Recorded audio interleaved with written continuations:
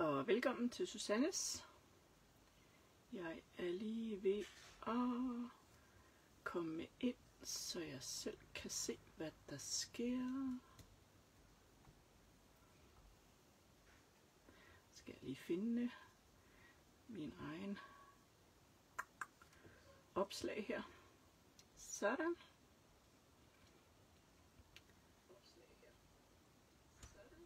Så skal vi se, hvor mange der kigger med. Jeg kan se, der er allerede nogen, der er inde og kigge med. Fantastisk.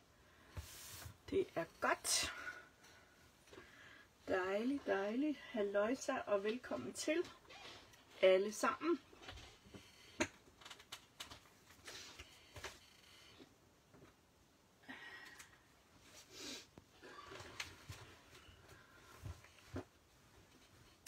Hej Annette og Gitte og Lone og Inge og Jytte og Annette. Og hvem der ellers måtte være, som ikke er poppet op på min skærm her. Prøv lige at få noget skidt af min skærm. Sådan. Hej og velkommen til. Øh, som I jo nok kan se, så øh, er mit underlag blevet normalt igen. Det er faktisk fordi vi kørte hjem fra sommerhuset en dag før tid. Øh, hej til Lone. Øh, som I jo nok har kunne høre, så har Søren hostet lidt i baggrunden, og øh, vi blev enige om, at det måske var en god idé, at der blev besøgt en læge her i morgen, hvor vi også har fri. Så derfor valgte vi at køre hjem i dag. Øh, så der var fare for, at den her live blev rykket til i morgen. Men vi nåede at komme tilbage til Viby, og derfor så kan jeg så lave min live, og så må vi se, hvor langt vi når i den her live. Øhm, op i sommerhuset, eller nede i sommerhuset hedder det jo, øh, der fik jeg skrevet sådan lidt sådan hurtigt, hvad det var, vi skulle bruge, og øh, at jeg kaldte den øh, julekalender 2022, og den cirka er 27 tommer, øh, eller cirka 68 cm. Vi skulle lave 24 æsker, hvor man skulle bruge 12 stykke 12 x 12 eller 24 stykke af 4. Tak Anita. Jeg håber det bliver bedre. Øh, coronavaccination og øh, hvad hedder det? Øh, hvad er det det hedder? Det hedder astma. Det går ikke altid sådan helt i spænd. Øh, og nu kunne vi godt øh, mærke, at han heller måtte komme hjem. Øh, i dag, der skal vi bruge noget basiskarton. Jeg bruger øh, 12 gange 12 stykker til at lave selve basen, som I nok skal få lov at se lige om lidt. Så skal man bruge en 4-5 stykker mønsterark. Jeg kommer bare til at bruge rød plain cut, fordi det synes jeg spiller ret godt ind til det, jeg gerne vil lave. Øh, hjørnerunderen, den har vi brugt, så den skal vi ikke bruge mere. Gummiapandejen, den der laver lukning, den har vi også brugt, så den skal vi ikke bruge mere. Så skal man have lavet nogle tal og noget pynt. Tallene har jeg ikke lavet, lidt pynt har jeg, så måske kan vi det. Så står der restkarton eller chipboard. Det er også noget, vi kommer til at fikse her. Og så har jeg faktisk glemt noget, for jeg har glemt det, der hedder jeg tror det er sådan, man skriver acetate. Øhm, det skal vi bruge, og til det det der klare plastik. Øhm, og man kan vælge at gøre, øh, altså købe sådan noget, jeg har en pakke lige her, købe sådan en pakke med noget acetat i. Øhm, eller så kan man bruge genbrugsacetat, hvis man har det for æsker. Og øhm, jeg har sådan nogle gamle hvad hedder det, øhm, overhead ting, som man ikke bruger mere. Øh, som jeg engang fik øh, fra mit arbejde nogle år tilbage. Øh, og det kan være, at det er det, jeg kommer til at bruge. Det er også noget acetate, som er lidt groft på den ene side og glat på den anden side. Øh, men man kan jo i princippet bruge hvad som helst. Jeg anbefaler, at man sætter acetate i, øh, for ikke at blive udfordret. Så sagde jeg restkarton. Og restkarton for mig, det bliver forsiden af blokken, som jeg har taget mine kartonstykker fra. og forsiden af en anden blok. Man kan også bruge noget chipboard, hvis man har det. Så er det fint. Det, øh, jeg tænker at bruge nogle rester. Øh, men allerførst, så skal I få lov til at se sådan hele den her julekalender. Øh, jeg har lavet 24 æsker, de ligger bare nede på gulvet, for ellers så kan vi simpelthen ikke være her. Fordi det, der nu kommer frem, det er langt, og jeg kan ikke vise det sådan i sin fulde længde på, øh, på det her billede, andet end så skal jeg tage min telefon af. Øh, så derfor så kommer den ind i billedet, sådan lige så stille her. Og så håber jeg, at I kan se det her, det er bunden af julekalenderen. Og så bliver den ellers længere og længere og længere og længere og længere. Og så kan jeg næsten heller ikke komme videre herover i siden. Og det er simpelthen bare sådan en høj kasse, som ser sådan her ud. Så er der lavet nogle taghuller her i begge sider. Og så fungerer det simpelthen på den her måde, at man tager en æske ud, og så glider resten herned. Min har et lille problem øh, heroppe i midten. Det skal vi nok prøve at se, om vi kan gøre bedre. Øh, og man tager simpelthen bare æskerne ud efterhånden, og så dumper de ned her i bunden. Jeg kan lige prøve at gøre det igen. Der er et par enkelte her, der lige strander. Jeg får den lige lidt mere ind i billedet her måske. Jeg skal lige selv kigge med sådan. Så man hiver ud, og de falder ned. Og så den lavet sådan. Prøver vi lige at gå op i den anden ende. Jo, det kunne I godt se. Jeg tror lige, vi prøver en gang til. Vi har et hul her, så jeg får dem lige banket ned. Der er stadigvæk lidt hul, men det går nok. Vi prøver lige igen, så I kan se det. Ja, den glider, fordi det virkede faktisk meget godt. Hiver, og så løber det ned. I tager lige igen. Hiver, og så løber de ned. Og I kan se her, at jeg har et sted, hvor den driller lidt. Det kommer vi til at prøve at lave finere hos jer. Så kan man, og det vælger jeg lige at gøre, fordi at det er lidt nemmest for mig. Vi putter dem lige i bagvejen. Men det er faktisk lavet sådan. Nu brokker Søren, så vaskemaskinen er færdig. øh, nej, ikke Søren. Undskyld, Lasse brokker sig. Sådan her. Øh, jeg har heller ikke øh, puttet noget på mit chipboard her i bunden. Det kommer vi til at gøre i dag. Oppe i toppen. Det er lidt svært at se, tror jeg. Jeg skal lige se, om jeg kan kigge med her. Hvor skal vi være? Vi skal være her. Sådan. Nu kan I se toppen. I toppen vender jeg den lige om. Sådan. Der har jeg lavet sådan et taghul. Og så har jeg lavet sådan en, en holder. Derfor så gaber den lidt heromme, fordi det lavede jeg måske ikke så smart, da jeg satte den på. Øh, men det var fordi, jeg skulle løsne lidt her og sådan noget, for at få det til at fungere. Men det er simpelthen fordi, jeg har lavet et øh, låg. Sådan, så når man tager en æske i bunden, så kan man lægge den her op i toppen. Så tag en æske ud, tømme den, læg den op i toppen. Så det er simpelthen det, vi skal lave øh, i dag. Vi skal lave de her 68 cm eller 27 tommer julekalender. Vi kører lige igennem igen her.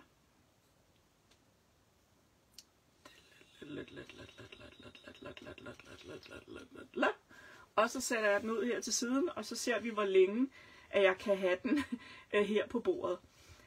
Det første, jeg vil, det er, at jeg vil lave bagsiden af det her lange rør.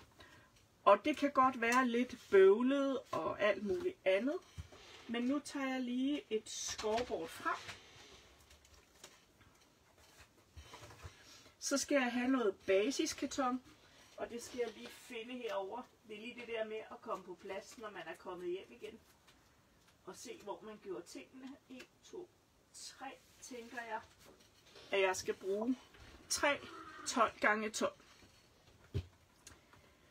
Og øh, nu er det jo sådan, at den her æske, den har jeg jo lavet på et mål. Og bare for lige hurtigt at vise, så har jeg leget med målene inden. Og her har jeg lavet en æske, kan vi lige folde, som har øh, en lidt anderledes fasong. nu folder jeg den lige lidt forkert. Jeg skulle nok lige have de der, så det er nemmere at holde her. Rundt. Se, nu har jeg lavet en æske, som har samme højde, men den er smallere. Så man kan jo lave den størrelse æske, man vil. Jeg prøvede faktisk også at lave en, der var lidt mindre. Bare for at øh, ligesom have nogle muligheder at vise jer, at det er altså muligt at lave de her æsker.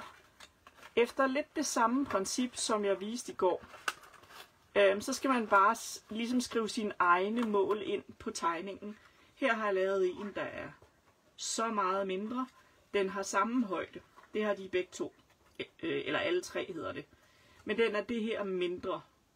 Den er 3 gange 3 hvor den her er 4 gange 4 Så derfor så øh, skal man vise jer processen i, hvordan jeg gør det her.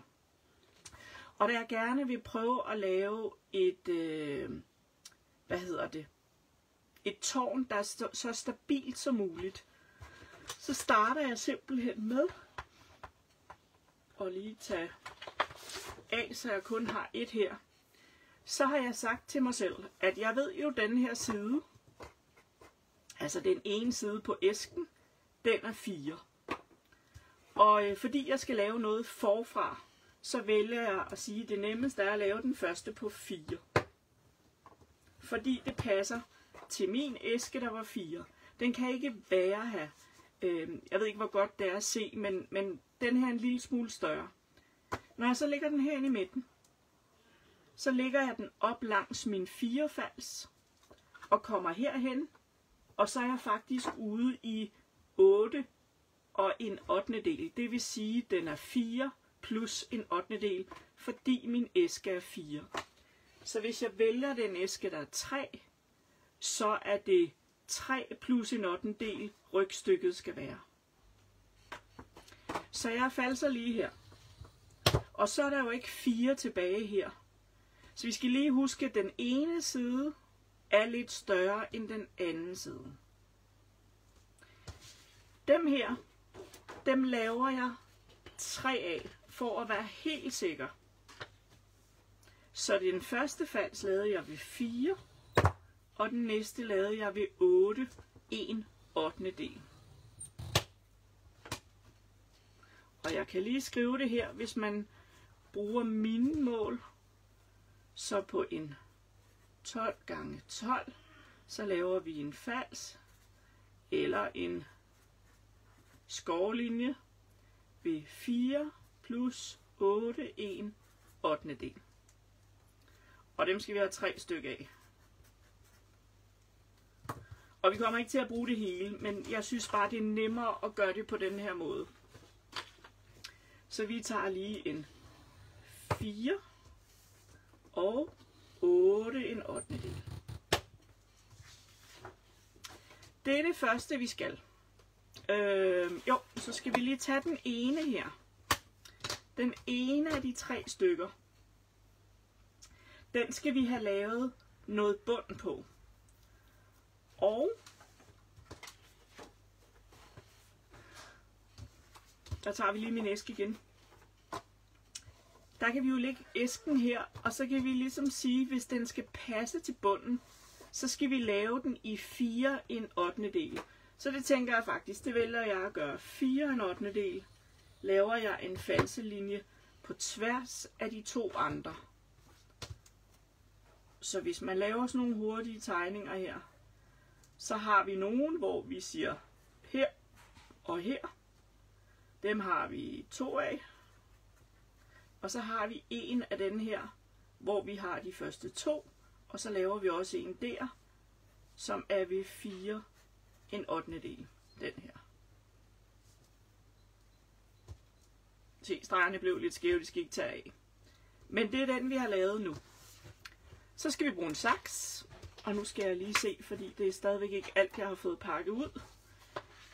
Men hvis vi vender den her om, hvor vi har bundstykket, og så har vi de der lidt længere stykker. Der starter vi simpelthen.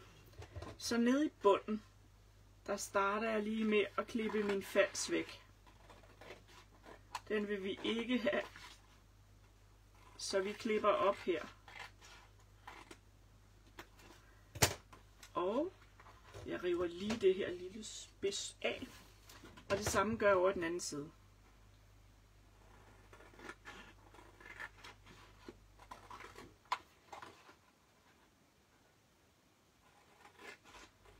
Og pyt med, hvis det ikke bliver super lige og alt muligt andet. Det gør ikke noget. Sådan her. Det vi så skal nu, jeg tror lige, jeg fjerner den her. Det vi så skal nu, det er, at vi skal begynde at lave det her lidt til en æske. Så man folder her, og her har jeg jo bjerget, så jeg folder indad, jeg tager lige en bone folder her, så jeg sørger for, at jeg får nogle ret skarpe foldninger her. Og det her karton, jeg bruger i basis, det er plain cut karton. Nej, undskyld. Det er gummiapan karton. Og det er simpelthen fordi, det har en ret god øh, øh, kvalitet. Det har ret god øh, tykkelse på øh, og vægt. Så derfor bliver det faktisk lidt stabilt. De her stykker skal nu på en eller anden måde limes sammen, så man får lavet en æske. Og prøv at se her, den er en lille smule for lang i øh, noget af flapperne, og det er jo fordi siderne her er ikke lige store. Det kan man klippe af, eller man kan lade det være. Inden man limer den her sammen, så skal man have nogle taghuller herover. Det kan man øh, klippe med en punch. Jeg tror, jeg, øh, jeg klippede det bare, faktisk bare med min finger, tror jeg. Så man kan tage sådan en punch her. Og den her er ikke så stor. Men øh, jeg tror ikke helt, det er stor nok. Jeg skal lige prøve at se min store punch er nemlig gået i stykker. Jeg tror bare, jeg prøver lige med den her. Så ser vi lige, om det er nok. Jeg prøver lige at finde midten. Nej, det duer ikke. Det duer ikke. Så jeg gør lige noget andet. Jeg finder lige en øh, cirkeldej. Og det tænker jeg har lige her i nærheden, så jeg går lige en tur på gulvet. Fordi jeg har jo ikke lagt tingene på plads. Så der, det burde være muligt at finde noget hernede. Ja, eller her. Sådan. Nu tager jeg bare en tilfældig øh, cirkeldej. Og det jeg simpelthen gør, det er, og vi arbejder herude på ydersiden, det er, at jeg gider ikke køre det her igennem min skæremaskine. Så derfor, så sætter jeg den bare på her. Og så tager vi en blymand. Vi må godt gøre det lidt nemt for os selv. Og så skærer jeg lige indvendigt her, eller ridser indvendigt, og jeg tager bare hele turen rundt. Sådan. Så tager vi en saks, og så klipper vi hele turen rundt her. Man kan godt putte det i sin øh, skæremaskine, ved at man folder det. Man skal bare være opmærksom på, at man godt kan få et tryk øh, på de andre stykker kartoner. Fordi det her kan jo ikke gå ind i en skæremaskine, så jeg er tvunget til at folde det sådan her. Og så lægge min dage den her vej, så den kun skærer det yderste lag. Men det, der kommer til at ske, hvis jeg kører det her igennem min skærmaskine, det er, at jeg får et aftryk herover fra ydersiden af cirklen, fordi den laver ligesom en prægning på bagsiden. Så derfor så kan det faktisk bedre betale sig at gøre på den her måde med tegne og klip. Og så tager man også lige et viskelæder, fordi det glemmer man altid, i hvert fald hvis man hedder sus. Og så visker vi lige det væk, vi ikke har klippet af. Nu har jeg jo den her. Det er min skabelon til over i den anden side. Så den tager jeg lige her. Og så kan jeg jo tegne eller lime eller øh, hvad jeg vil, og så klippe udenom. Jeg tror bare, jeg prøver at holde. Og så klipper vi udenom og ser, om det går. Og vi tager lige hele vejen rundt her. Og en hele vejen rundt. Der. Sådan. Så nu har jeg lavet to taghuller her i begge sider. Fjerner lige den her, den skulle vi ikke bruge. Og når man så igen samler bunden her, så kan man jo, skal vi prøve at se her, så kan man gøre sådan her. Så kan taghullet, som også er hernede i bunden, dem kan man ikke se. Og det er sådan nogle finesse ting, man må, man må øh, tilpasse sådan undervejs. Det her med, at den ene flap var lidt længere, der er faktisk to af dem, der er lidt længere. Jamen, man kan vælge at lade dem være. Eller også, så kan man lige tage en saks og klippe dem af her. Se, nu drejede det så lidt for mig. Jeg kan godt lime det her sammen, men jeg vil hellere lige vente lidt med at lime. Og det gør ikke så meget det her, for jeg kan altid gemme det. Og det tænker jeg, det gør vi på den her. Den her ser vi, om vi kan lave lidt finere end den første prototype, jeg, jeg øh, har vist jer. Sådan. Så nu ser den sådan her ud oppefra, og den er jo ikke super stabil, men når jeg begynder at putte karton udenpå, så bliver det bedre og bedre øh, efterhånden. Vi rykker lige den, og så tager vi det næste stykke her. Der har vi false linjer, så den skal vi lige have bukket og kørt med en bone folder. Og husk, når I kører med bone folderen og gør det fra øh, midten cirka, og i begge retninger, så er der størst chance for, at den ikke trækker skævt. Nu skal vi være opmærksom på, at vi havde en lidt højere side end den anden, eller bredere side end den anden. Så når vi nu sætter den her op, så hvis jeg har gjort det rigtigt, jeg skulle lige se, har jeg ikke det? Der er faktisk lidt forskel på det her karton. Ej, hvor sjovt. Vi prøver lige at vende den om. Jeg tror ikke, det bliver bedre der. Jo, det blev lidt bedre. Det var den her vej, den skulle vende. Der er stadigvæk lidt forskel, fordi jeg har puttet dem inde i. Men det gør ikke noget. Vi tager lige den sidste. Og så laver vi også lige en foldning på den her. Og nu er det, det begynder at blive svært, fordi det her det er lidt svært at komme til at have hele projektet inde i billedet. Og hvis jeg zoomer for højt op, så tænker jeg også, at der er nogen, der synes, at, at jeg kommer for langt væk. Så vi må lige prøve at se, hvordan vi kan få det til at spille af. Jeg skal bare lige sikre mig, at de vender samme vej. Og jeg kunne godt have skåret lidt af i den ene side, men det betyder ingenting. Se, nu har jeg jo lavet dem her, og de skal på en eller anden måde sætte sammen i længden, så de passer til alle mine 24 æsker, plus en lille smule mere. Og det er simpelthen for at have lidt at give af. Jeg har cirka øh, en, øh, ja hvad har jeg? Har jeg en kvart tomme, tror jeg, cirka oppe i toppen, som luft. Og, og det tænker jeg faktisk er en meget god ting at have når man sætter dem sammen, så er det vigtigt, at man tænker sig lidt om, fordi det dummede jeg mig faktisk med.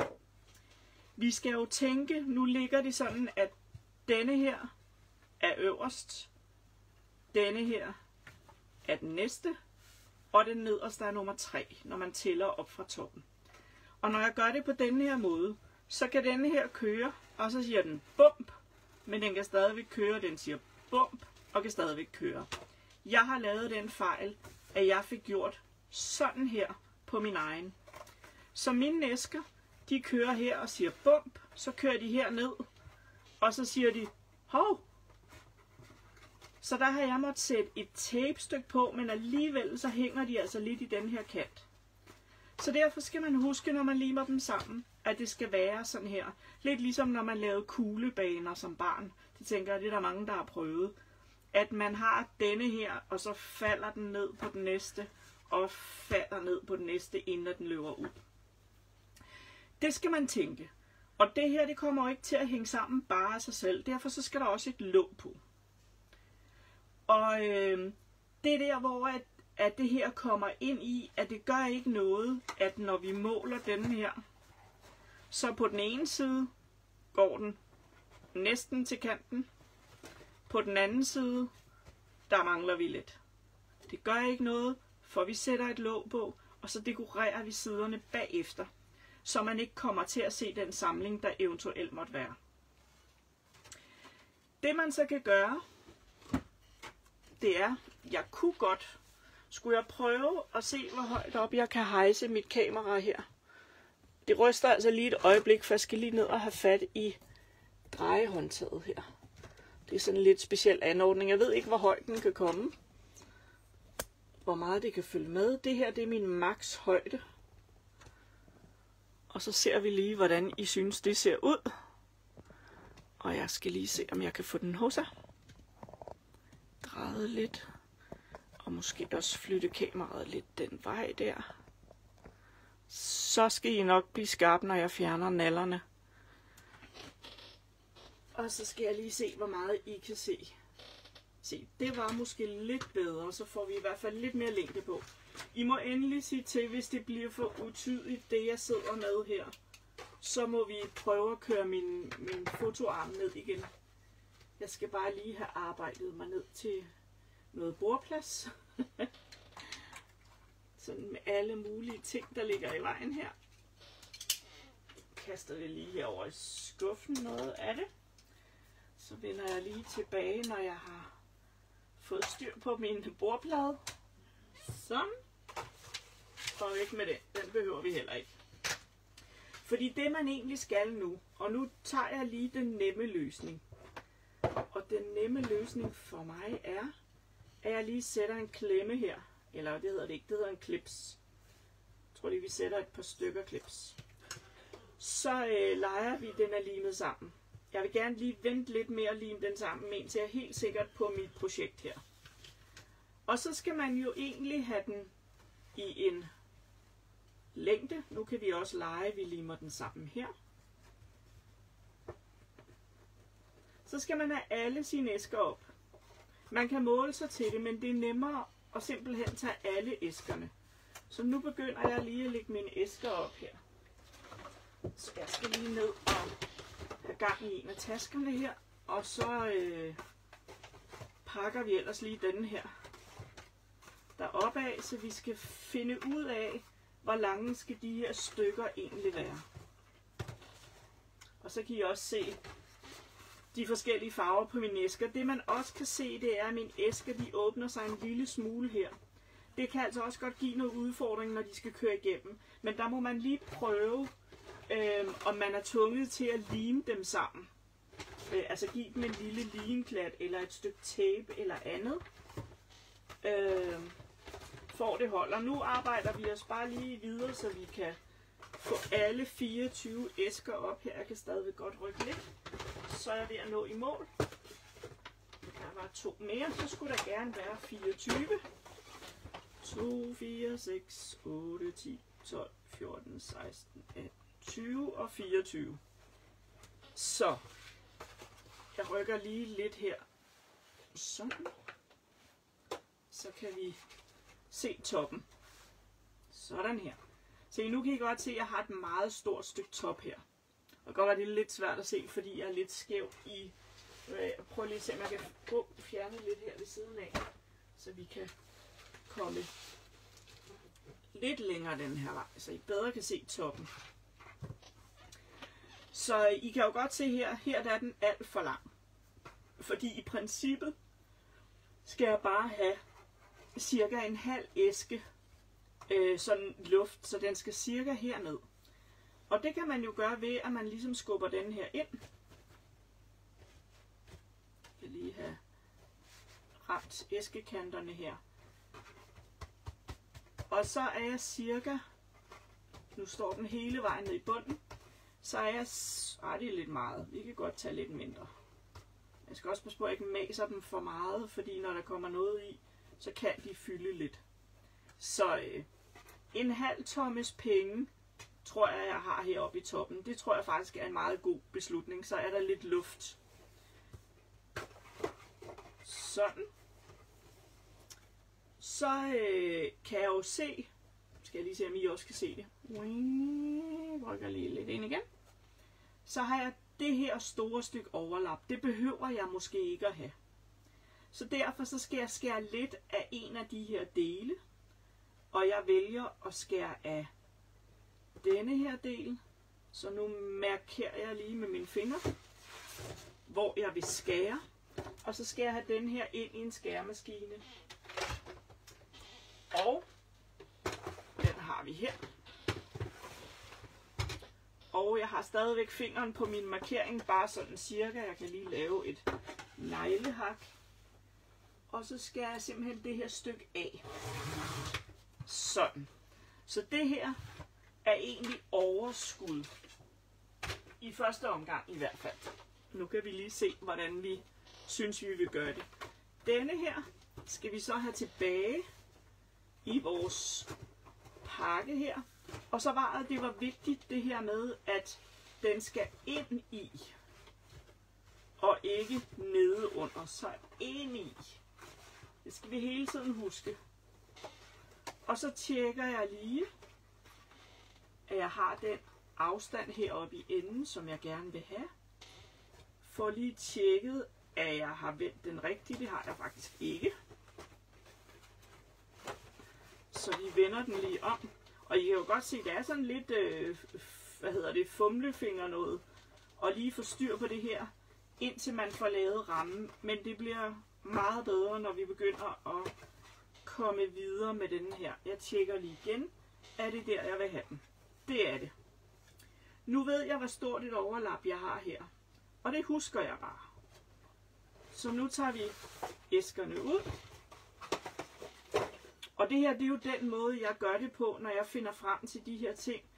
Det er, at jeg sidder og leger med det og siger, hvor må mit overlap være? Og jeg har godt og vel, øh, godt og vel en halv øh, tomme overlap. Og igen, jeg skulle huske, at den skulle være indvendig. Så nu limer jeg de her to dele sammen. Og fordi det ligger på mit bord, og det ligger plant, så har jeg helt klart en forventning om, at det her også bliver limet rigtigt.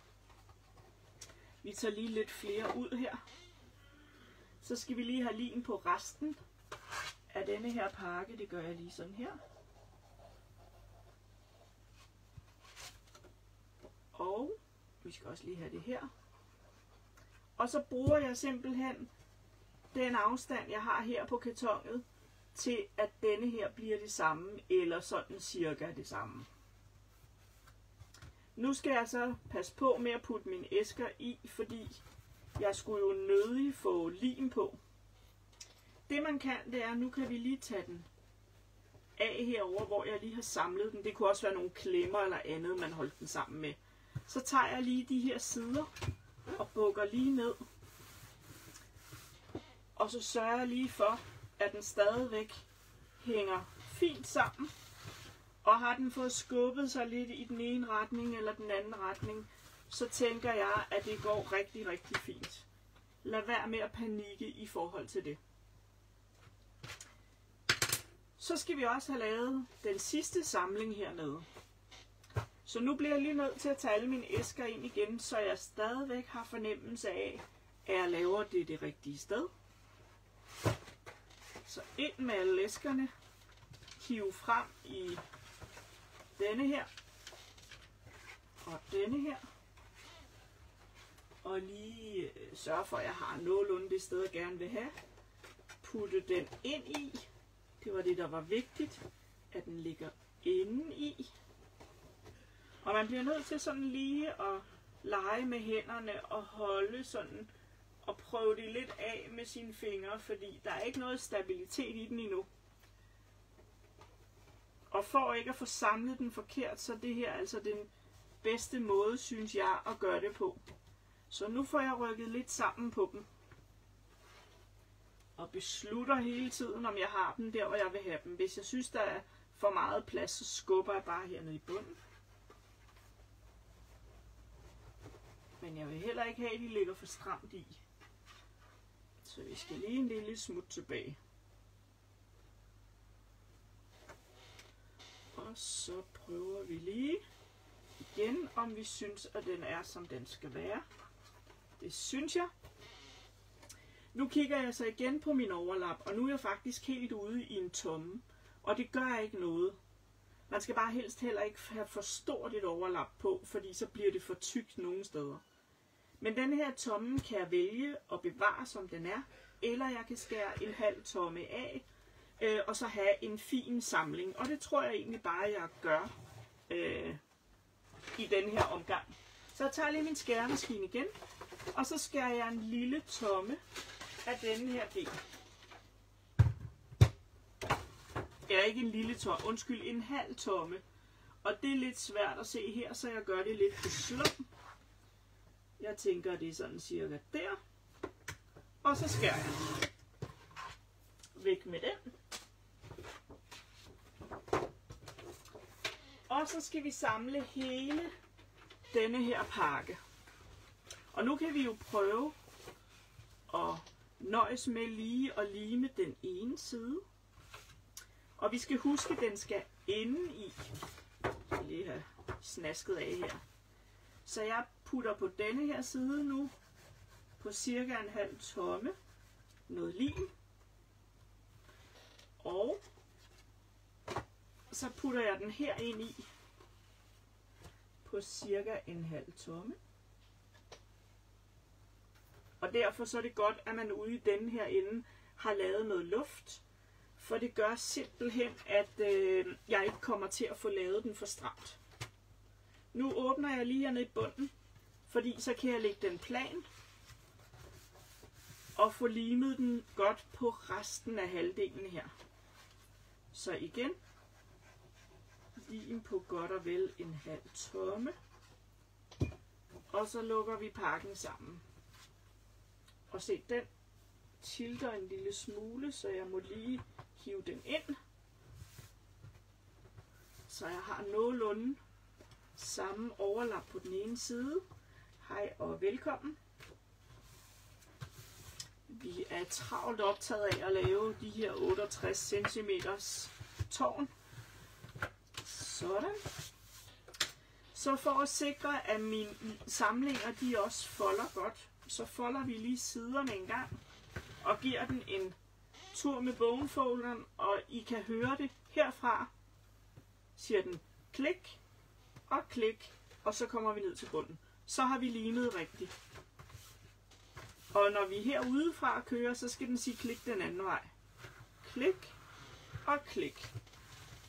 Og se, min den buler en lille smule her. Kan I se det? Jeg har ikke fået limet dem helt 100% på. Det gør ikke noget. Ingen panik i det. Så nu har vi faktisk hele røret. Så skal vi have et låg på. Så nu flytter jeg lige den her herop. Og så tager jeg min øh, mit scoreboard. Så tager jeg noget karton, og jeg tager noget play and cut, og det er altså A4, det jeg har. Og jeg har simpelthen valgt at bruge den her røde, fordi den synes jeg passer bedst til øh, min æske. Det vi jo ved, det er, at æsken var 4, og så skulle vi have en 8. del. Og nu ved jeg ikke lige, hvor min seddel med målet er, men 4 en 8. del, det er det, vi skal have øh, i bredden, i det, der bliver vores forside. Og øh, det her plan cut, det er jo ikke lige så kraftigt, som hvis jeg havde brugt øh, det her. Det her det er lidt kraftigere. Så derfor så kan jeg faktisk vælge, om jeg vil øh, bruge det her på min forside, som er lidt tyndere, så kan det måske være en fordel, at man ender med at lime to sammen, så man får noget kraftigere øh, karton. Øh, det tror jeg måske nok, jeg vil gøre for at sikre mig, at den ikke bliver for blød. Øh, det prøver vi lige. Men det jeg simpelthen starter med, det er, at jeg starter med at finde øh, mit false ben, der passer til denne her. Denne her, vi skal lige ind. Den ligger nok et eller andet sted herinde bagved. Så vi må lige have nogle af... Der var den. Der var den. Æsken var her. Sådan. Og det er altså sådan et lidt stort projekt, det vi skal have gang i her. Sådan. Jeg ved, at en æske, den var 4. Og jeg vil godt have lidt kant på, og nu udnytter jeg bare hele A4-arket, som det er. Så jeg tror, jeg sætter den her. Skal jeg lige sidde og sjuse sådan lidt. I for... Ej, jeg tager den herned. Det er meget nemmere. Og den er 8, så hvis jeg sætter den der og der. Ja. Så nu laver jeg en falselinje på det, jeg synes, der passer for mig. Og det er ikke igen, det er ikke så vigtigt, men det vigtige er, at hvis jeg laver den ved 2 her, så skulle jeg have 4 og en 8. del. Så derfor så skal jeg ud ved 6 en 8. del. Så ved 2 og 6 en 8. del. Og ved 2 og 6 en 8. del. Og jeg tænker, at jeg godt vil have god stabilitet i min æske, så derfor så bliver jeg nok nødt til at lave min forsider dobbelt. Og nu sidder jeg faktisk og tænker mig lidt over, at nu dummer jeg mig lidt. Fordi det her skal jeg have ind i min skæremaskine. Så derfor skal det helst ikke være bredere end 6. Så jeg kommer lige til at trimme denne her, men vi tager lige stadigvæk det samme nummer og siger 2 og 6 en 8. del. Og så skal jeg lige måle, fordi jeg tror, jeg skal ud i 3 også. Det skal jeg. Og som sagt, fordi det er play and cut, så vælger jeg at lave min forside dobbelt. Og jeg kunne godt have skåret kartongen ned først. Nu bliver det en tilretning af kartongen bagefter, fordi jeg gerne, oh, fordi jeg gerne vil have det i min... Øh, jeg vil godt have skåret nogle huller, så man kan kigge ind til mine æsker. Øhm, men det gør vi lige. Nu starter jeg lige med at skære af det her karton, fordi jeg fik lavet sådan et, et prik igennem hul. Sådan, væk med det. Så skærer jeg sådan, så jeg, og det kunne jeg jo have gjort i forvejen, men på hver side skærer jeg sådan cirka, hvad skal vi, hvad skal vi tage? Jeg tager bare den her bredde, der passer med, at det, jeg tror, det er en lille 3 kvart tomme eller sådan noget. Det er ikke så vigtigt. Det vigtige er bare, at den øh, kommer til at gå ud over. Og det gør ikke noget, det ikke bliver super pænt, når den går ud over, fordi vi dekorerer tårnet bagefter med mønsterkarton. Og derfor kan jeg også godt bruge rødt sammen med hvidt, selvom der er stor kontrast i. Hvis der er nogen, der har skrevet nogle spørgsmål, så skal jeg nok kigge, når jeg lige har skåret alle dem her. Det er lige sådan en, en lidt længere proces at få skåret dem. Så det gør vi lige først. Det smarteste ville jo have været, hvis jeg havde skåret mit A4 karton i en bredde, der hedder 6. Og så havde lavet en, en false, falsning, der passer. Vi kan lige prøve at putte den over i. Jeg tror, den er cirka 6. Øh, så vi tager den lige herop, og så kigger vi lige. Jo, den her den er sådan cirka 6. Den er lidt mindre end 6. Så derfor har jeg falset ved 7 8. del og ved 5 cirka. Men det er jo det, I måler jer til ved at tage jeres æske. Og nu har jeg jo lavet dem, så jeg gør lige sådan her. Så kan man lige kontrollere, at når jeg har her, så kan min æske være nede i. Og så skal jeg nok lige kigge på, hvad jeg skriver. Fordi lige nu kan jeg ikke se min iPad for det her, der ligger her. Ah, skal vi se. Da, la, la, la, la, la. Elsker dine live. Det er så alle kan forstå det. Og små lærlingetricks, det er godt. Det er dejligt, I kan bruge det til noget. Nu skal jeg så have samlet de her. Og jeg skal også have det igennem min die cut maskine. Jeg kan selvfølgelig putte dobbeltklæbende tape på og samle de her dele. Øh, men jeg tror bare, at jeg vælger at bruge øh, lim. Og så sætter jeg dem simpelthen sammen. To og to. Og så skal jeg have skåret huller i dem. Øh, og det skal jeg nok lige vise, hvordan. Der tager vi simpelthen min skære, øh, min Big Shot frem her. Den står ikke på sin sædvanlige plads jo, fordi den har været i sommerhuset. Og jeg ved godt, det ene ark er kortere, det gør ingenting. For jeg kommer ikke til at skal bruge den fulde længde af det her. Og det er det, man skal måle sig til. Men først, åh, oh, der er en, jeg ikke har skåret. Først så skal jeg lige have limet dem sammen. Så jeg skal lige have kottet de her flapper på denne her også. Sådan. Så. Så nu tager jeg to af dem her. og starter selvfølgelig med dem, der er lige store. Og så skal de have lignet dem sammen. Og jeg skal lige være opmærksom på, hvis de ikke når at tørre helt, så kommer der lidt lim i min big shot. Men jeg tænker nok, det går. Så jeg tager simpelthen to dele her og sætter sammen. Og pyt med, hvis den ene er skåret lidt højere i den ene side end den anden. Det er ikke så vigtigt. Det vigtige er, at vi får lavet et lidt kraftigere stykke karton her. Så får den lige lov at tørre, så tager vi lige en mere. Jeg kan lige rykke her, så jeg kan komme lidt længere ind. Lidt lim herude, der putter jeg mest på, for jeg skal ikke skære herude i min Big Shot. Sådan. Og så tager vi denne her i.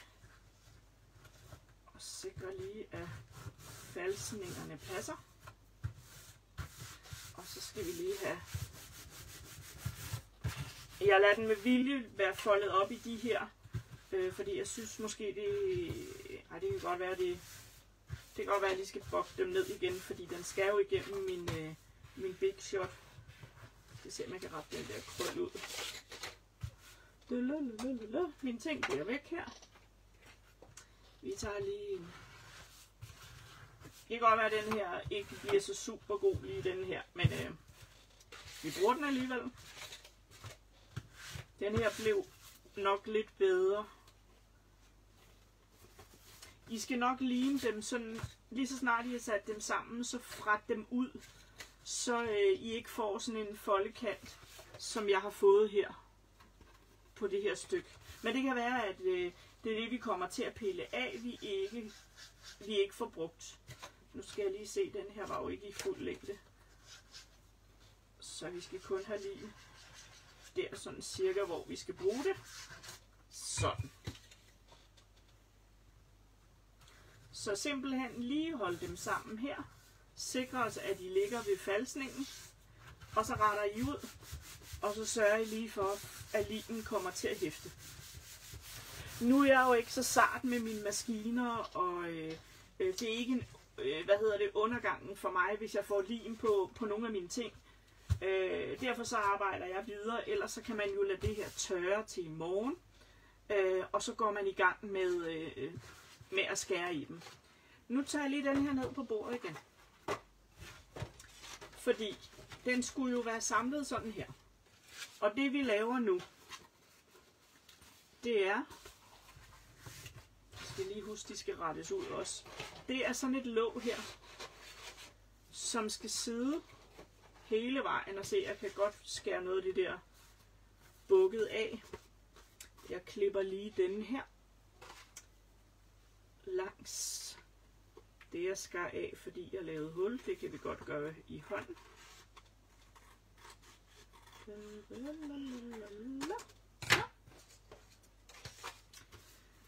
Så jeg skal bruge de her dele til at lave låg hele vejen hen her. Så jeg skal jo lige igen måle mig frem til, hvor lang skal det være.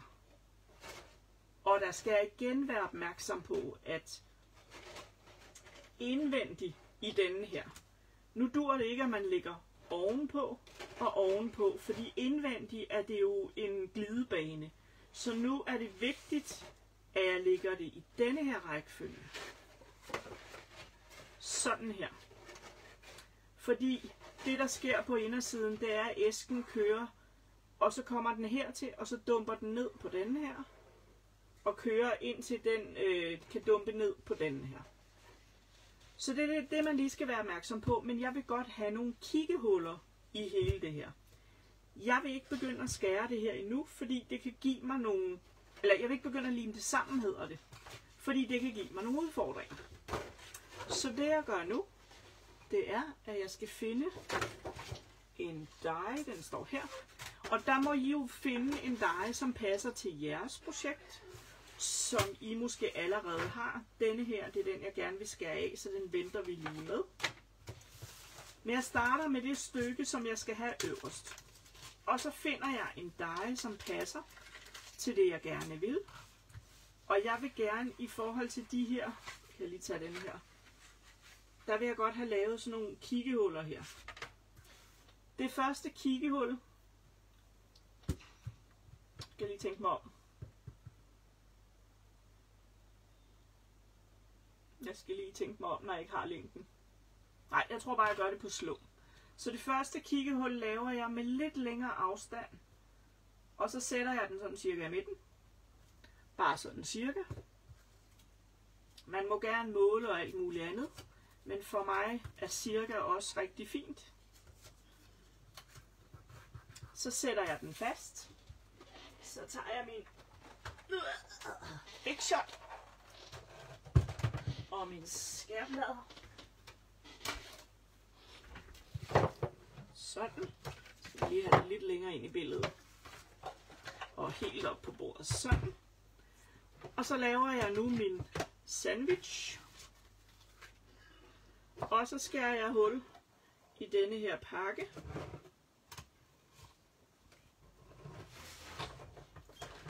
Og så får jeg lavet et vindue, og nu karter hele mit liggeunderlag rundt her. Sådan. I vil høre det her klonk, og det vil I simpelthen høre, fordi at min deje den ligger lige.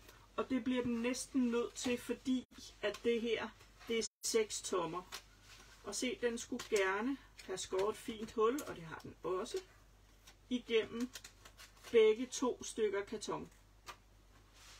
Nu skal jeg så placerer den igen, og det gør jeg også bare på slum. Fordi når jeg dekorerer det her, så gør det ikke noget, hvis det skulle være lidt skævt. Det synes jeg i hvert fald ikke, og ellers så må I måle. Så nu skal vi igennem her. Jeg tænker, at vi kører til cirka 18.30, og bliver vi ikke færdige, så må vi fortsætte igen i morgen. På et eller andet tidspunkt, fordi der har jeg stadigvæk fri. Så bliver det i løbet af dagen, så øh, ser I det bare, jer der går på arbejdet i morgen, øh, på et andet tidspunkt. Så fik vi lavet hul nummer to. Vi laver også lige et hul nummer 3, og igen, så kan I se, at jeg bare gør det lidt på slummen. Og fordi at jeg sidder i forkert vinkel, så kan det også blive skævt af alt muligt andet. Men øh, det bliver som det bliver. Man kunne også bruge cirkler for eksempel. Det kunne et eller andet sted også have været fedt. At man lavede cirkelhuller. Ej, hvorfor tænkte jeg ikke på det? Det bliver firkanter igen. Men cirkelhuller kunne have været godt. Altså, sådan. Og jeg tror sørme lige, vi kan have en mere. Måske. Finder vi lige ud af. Og nu synes jeg, at det hele bliver vind og skæv her. Mm, jeg skal lige tænke mig om, fordi denne her, hvis den er oppe i toppen, så skal den være udvendig. Udvendig, udvendig, udvendig. Jeg tror faktisk ikke, jeg skal lave en her. Jeg sidder bare lige og tænker. Udvendig, den skal sidde den skal sidde sådan her. Nej, så er det fint. Så kan jeg godt skære en mere. Jeg skulle lige finde ud af, ellers så klipper vi den altså af, hvis jeg øh, fortryder her om lidt, når jeg har skåret den. Vi skærer lige et hul mere.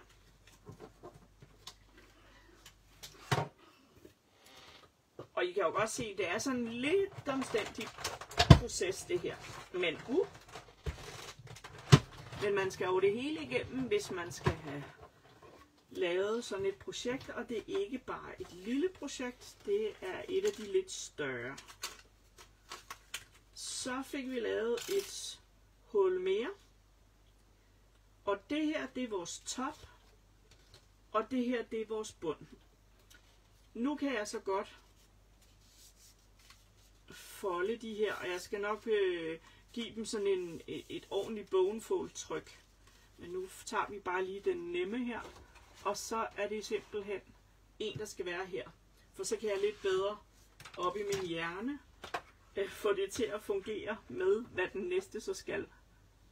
Og den skal sidde udenpå, yes. Og fordi den skal sidde udenpå, så øh, kigger jeg lige, om min ender sådan er pæne. Det er den heroppe. Så sætter jeg nu denne her med den afstand, som jeg cirka havde i mellemstykkerne. Og det her, den er blevet smallere. Men det gør ikke noget. Fordi det retter vi simpelthen ind med denne her. Den er også blevet lidt skæv. Øh, det kan jeg nok ikke ret. Men jeg kan skjule det. Sådan her. Og så vender vi om. Og, hov. Hvad er der en, der sender sur smiley? Det er der nogle gange nogen, der gør. Om det er så fordi, de ikke kan lide det, eller man rammer forkert, det ved jeg så ikke. Men det vælger man jo selv. Så kan man jo bare lade være med at kigge. Hvis man virkelig mener, at øh, det gider jeg ikke kigge på, så, øh, så må man jo bare lade være. I stedet for at lave sure smiley'er. Men det kunne jo også være en fejl. Sådan, så tager vi lige et hul mere. Og igen med nogenlunde den afstand, jeg gerne vil have. Og her. Og vende rundt. Og skære et hul. Og så skal jeg lige holde godt fast, så hele bordet ikke tager sig en tur. Den klarer det egentlig meget godt igennem de her to stykker 180 grams karton. Så tager vi lige en mere. Og afstanden skal være der. Tror jeg nok. Det bliver det. Og vi sætter lige dem her på, og så skal jeg lige se, jeg kunne se, der var en eller anden, der skrev et eller andet. Ja, jeg tænker også, at de fleste, der får lavet en sur smiley, det er en fejl, og jeg ved ikke, om man herinde i en live kan lave om på det. Det kan man jo i et almindeligt opslag. Hvis man sender en forkert smiley, så kan man gå ind igen og så øh, lave en ny smiley, så fjerner den den, man lavede forkert, og laver en ny. Men jeg er ikke sikker på, at man kan i en live. Ah. Så. Og så skal vi jo også se håndboldfinale her senere, eller det skal jeg i hvert fald. Det bliver vi nødt til at se.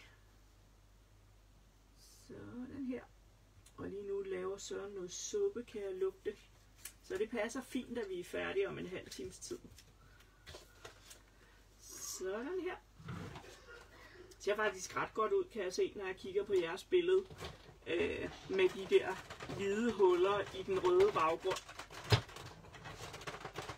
Og det er jo sådan, at når man tager æskerne ud og putter dem op i den anden ende igen, så kommer man jo faktisk aldrig til at se baggrunden. Og Karin skal også se håndbold. Og det er godt. Det er godt, jeg har nogle øh, artsfælder her. Se, så skal de her to ende med at blive lignet sammen. Nu skubber jeg den lige lidt op i enden. Det kan I ikke helt se, men jeg skal bare have en fornemmelse af, hvor langt det skal være, det her. Jeg tænker godt, jeg kan lave en mere i denne her ende. Vi vender den lige om. Og så får den lige en mere, og så bliver jeg nemlig nok... Nej, det tror jeg ikke, jeg gør. Jeg tænkte, at jeg kom til at skulle trimme den lidt, men det tror jeg egentlig ikke, jeg skal. Det er bare på den sidste, vi laver noget trimning. Sådan her. Og sådan her. Så får den lige en tur.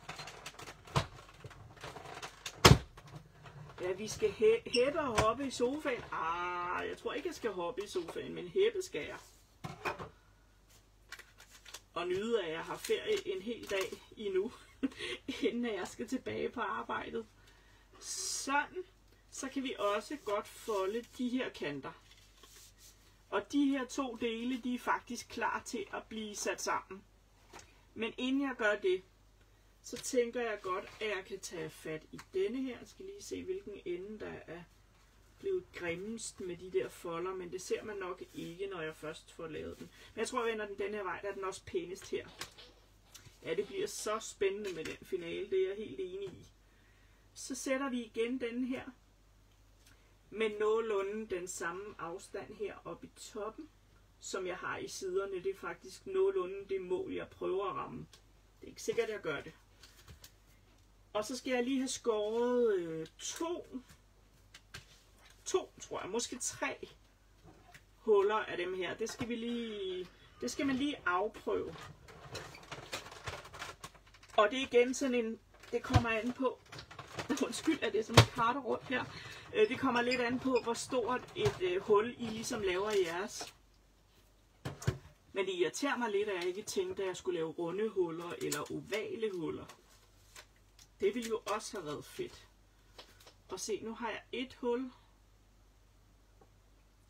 Et hul, et hul, et hul. Jeg laver lige et mere, men jeg tænker ikke, at jeg kommer til at bruge. Det skal jeg. Jeg skal bruge det. Nå, vi laver lige et mere. Jeg tænker to huller af det, vi skal på den sidste del her. Og igen så noget her, det er jo noget med at sjuse sig frem, og nogle gange så går det galt, så må man prøve igen. Så er det en uommer. Sådan her. Og så tror jeg, at jeg er færdig. Så nu tager jeg lige den her af. Så vi får lidt plads her. Fordi nu skulle vi gerne have det her ned i billedet, så vi kan sådan se lidt, hvad vi har gang i her. Fordi denne her skal vi have siddende herude, og igen så er det en god ting at have en eller anden klemme ting.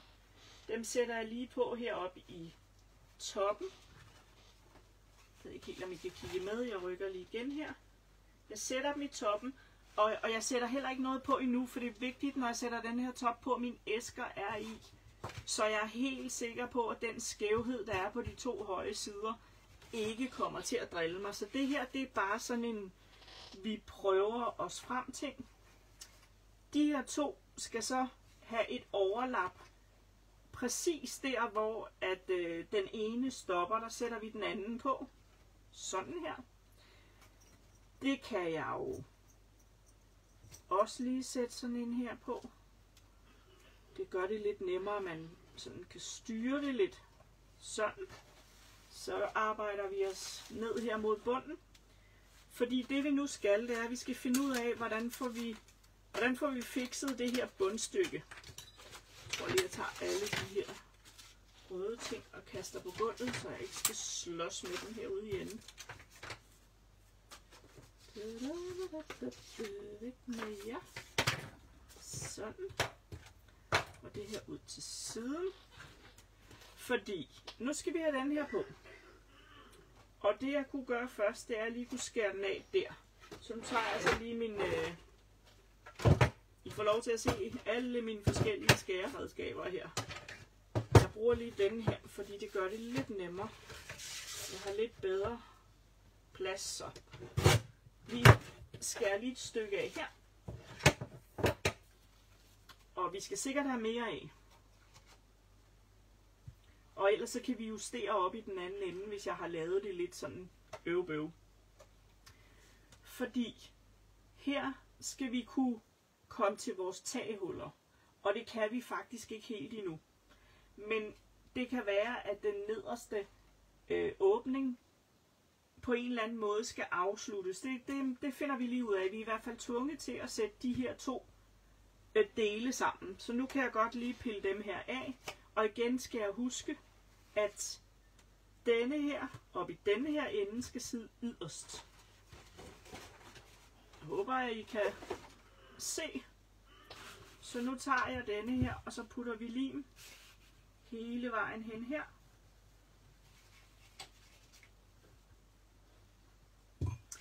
Og så putter vi den her på, så den flugter langs kanten på hullet på det forrige hul her.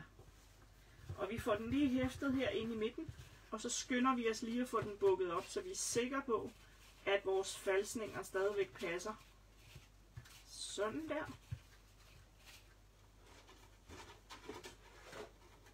Så tænker jeg, at vi lige tager den sidste del, og så gør vi lige det samme. Denne her skulle ned, og denne her skal ovenpå, og jeg tror mine huller, de sådan tilter lidt. Så det kan godt være, at jeg bliver udfordret lidt i denne her samling, men jeg får det til at blive til en lige kant, fordi oversiden her, den kommer til at bestemme, og så må jeg bare overlappe den lidt mere det ene sted end det andet sted. Og så er hullet bare ikke helt firkantet herinde. Men det gør altså ikke noget. Skal lige have ramt igen. Det var ikke helt rigtigt. Der måske. Lige hæfte herinde i midten. Og så sikrer vi lige, den bukker fint. Og så skal jeg også lige, inden den hæfter for meget, sikre mig, at den stadigvæk passer i retningen. Og se, der slap den lige lidt. Herover skal vi lige have limet. Det er fordi noget af det her lim, som jeg bruger, der har jeg faktisk glemt øh, at røre rundt i min bogbinderlim, inden jeg tog den op i mine flasker, så der er noget af det, der ikke er helt så limet. Nu sidder jeg så herinde på indersiden, og der kan jeg faktisk se, at det yderste lag her, det hænger faktisk slet ikke fast. Altså, der var jo to stykker karton. Så nu klipper jeg simpelthen lige den her yderste del af. Og det kan jeg sagtens, fordi det er mit topstykke karton. Og så skal jeg nemlig ikke slås med et ekstra lag. Og det samme kigger jeg lige på her, om den hænger fint sammen hernede. Det gør den. Inden den her bliver sat i, så skal jeg have acetat i. Så nu tager vi lige den her væk. Og så skal jeg have skåret acetate til at ligge herinde. Og det er simpelthen også for at sikre mig, at det glider flot og godt. Og jeg tror bare, at jeg bruger de her genbrugsnogen, jeg har. Øh, eller det er det ikke, det er fra arbejdstid, hvor man brugte sådan noget øh, overhead, er det faktisk. Så skal jeg lige øh, bruge en skærmaskine. Det blev lige den her. Jeg skærer de her striber i fire tommer. For så har jeg lidt at give af. Og lige mine her, de har sådan en hvid kant, så den skærer vi af. Den gider vi ikke bruge. Og jeg kommer til at skære noget mere, fordi jeg skal have det her til at passe. Og vi skal også have fundet ud af, hvad vi gør nede ved bunden. Men det er mere sådan, så vi ikke glemmer, hvad vi har gang i. Så jeg skal bruge et stykke der. Og det kan I godt se, det stopper sådan lige midt i en rode. Det kan jeg ikke have. Så jeg bliver nødt til lige at tage den og skære den lidt kortere. For den skal stoppe i en samling. Så laver vi en mere. Jeg skal lige se, om den er 4 eller hvad den er. Den er lidt mere end 4, så den kan vi også godt skære af. Nu løber det hele her ved siden af mig. Ned på gulvet.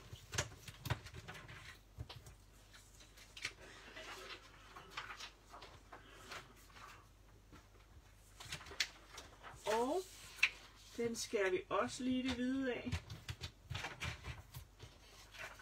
Og så prøver vi at lave overlap på den første her og se om den lige kan, den kan faktisk gå helt herned.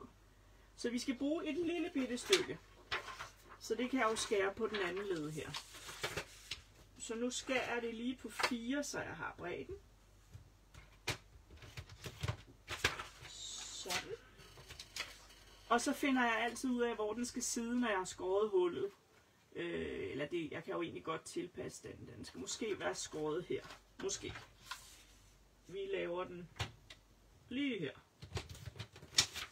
Sådan. Nu skal vi så have fået styr på bundstykket. Det er lidt vigtigt, at vi får styr på den her del. Så nu skal jeg have hele pakken ind igen. Og nu limer jeg min bund. Og i hvilken rækkefølge vi limer det, er helt lige meget. Øh, jeg tror, jeg putter lim på den her. Og så tipper jeg den her op. Så putter vi lim på flappen her. Og så putter vi den på her. Sådan. Så har vi nu godt styr på apparatet, så bliver vi nødt til at sætte den her på. Og så løber alt mit acetate, det gør ikke noget, fordi nu skal jeg få det her til at passe, både i højden og hernede, hvor man skal have fingerhullet. Og det kan godt være lidt svært, og jeg kan se, hvis jeg får mit fingerhul, så går det ned i den her rode. Så jeg bliver faktisk, jeg bliver faktisk nødt til at lige tage denne her. Jeg håber, I kan følge med, at det ikke er for, for, for forvirrende. Jeg tager lige den her, og så skærer vi lige den. Lige skærer den lige, så jeg får nogenlunde det trappetrin hernede i bunden. Fordi den skal være her, men det er ikke sikkert, at det her det er nok. Og det tror jeg faktisk ikke, det er. Fordi denne her skal jo kunne komme ud. Og der er mit øh, budehul her, det er faktisk for lille. Så øh, det bliver jeg nødt til at gøre et eller andet ved. Og det jeg kommer til at gøre ved, det er, at jeg finder, hmm, måske, min cirkeldej. Hvor blev den af? Hvor blev den af? Den er her.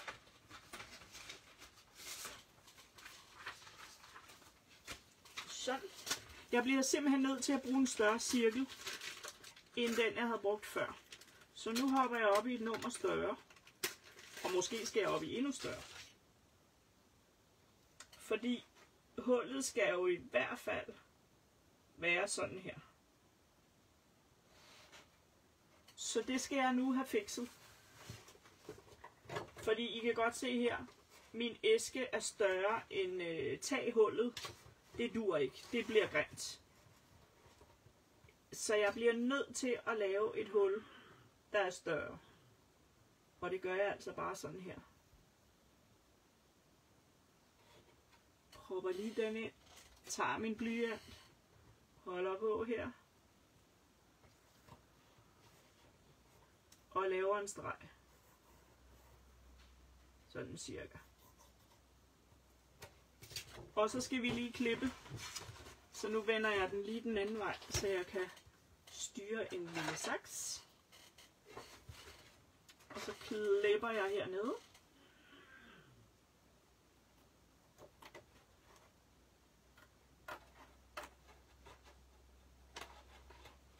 Og det er simpelthen den her måde, jeg har gjort det på. Og det kan godt være, at der er en eller anden smartere og alt muligt andet måde at gøre det på. Det er helt op til jer. Det her det er en af de der små detaljer, som det er nok de færreste at øje med. Men har man en cirkelpunch, som kan tage den cirkel, så vil jeg da klart anbefale, at man, man, øh, at man gør det. Nu sætter vi lige den her ind igen. Og når jeg kigger her, så skulle hullet måske have været en lille smule større. Ja, den skulle.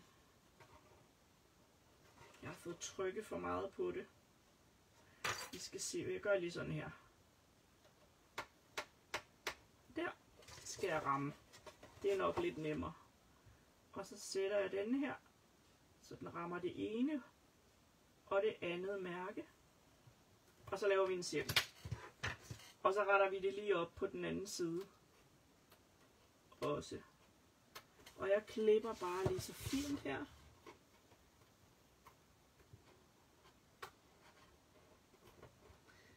Og jeg skal lige fingrene ind i boksen. Og så klipper vi af her. Sådan. Så kan jeg jo lige tage det her stykke og se, hvor meget galt i byen jeg er.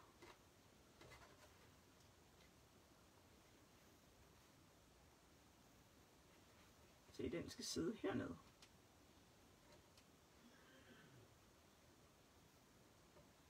Jeg skal have en lille smule mere. Men nu tager jeg det bare i fri hånd. Så jeg tager bare lige min saks, og så klipper jeg den her runding lidt bedre.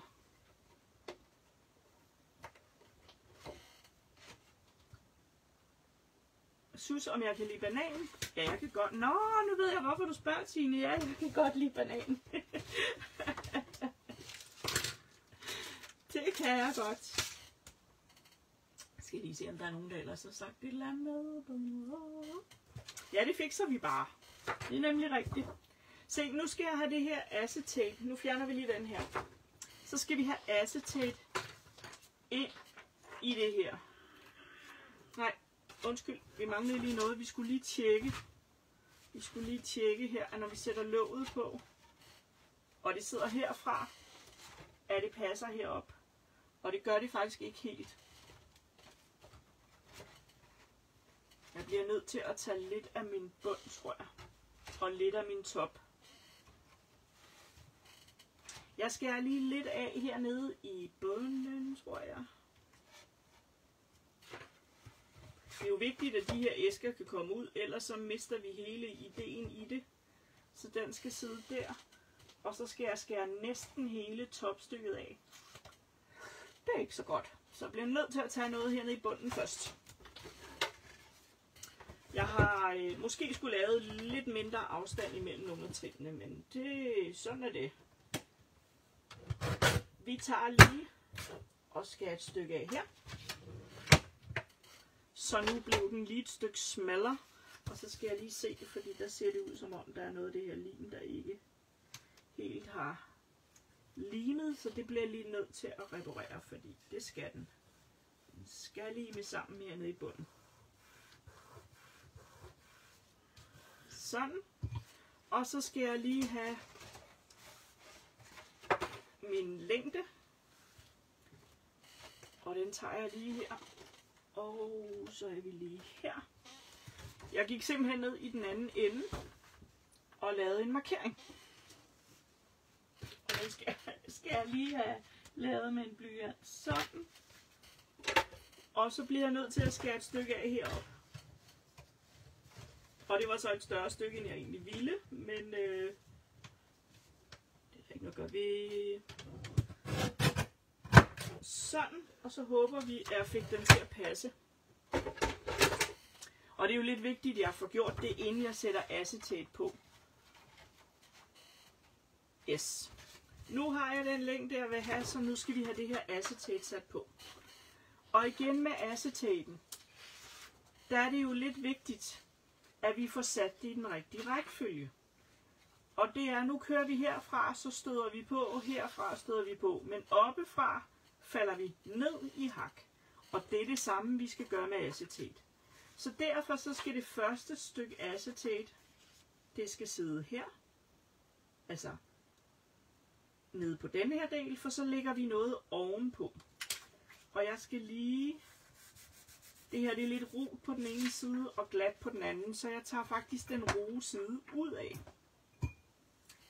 Og jeg vil simpelthen bare oh, nemt og bekvemt putte lim på. Nogen vil måske hellere bruge tape, men jeg bruger altså lim, og det gør jeg simpelthen fordi, at det der tape efter tid, hvis man godt vil bruge denne her flere gange, så efter tid, så holder tapen altså op med at øh, klister. Så derfor er limen bedre. Så nu bygger jeg simpelthen op her, og det ene stykke acetate, det vil være for langt. Så det må jeg simpelthen bare trimme, når jeg kommer dertil. Men vi tjekker lige, inden vi sætter på hver gang. Vi skal helt herop til foldningen, og hele vejen herned. Nu havde jeg lavet nogle mus, der hang bag om de her øh, trin, så jeg skal også passe på, at jeg ikke limer for meget, øh, hvis jeg gerne vil have, at musen skal have mulighed for at hænge nogle steder. Så her der tager jeg for eksempel øh, kun hver anden, så der er nogle muligheder for egentlig at sætte, øh, hvad hedder det, poterne på bagsiden af ligesom trinet, kan vi kalde det, som der er på forsiden. Nu skal vi lige have det her til at tage lidt fat, og jeg skal ikke putte lim på bagsiden.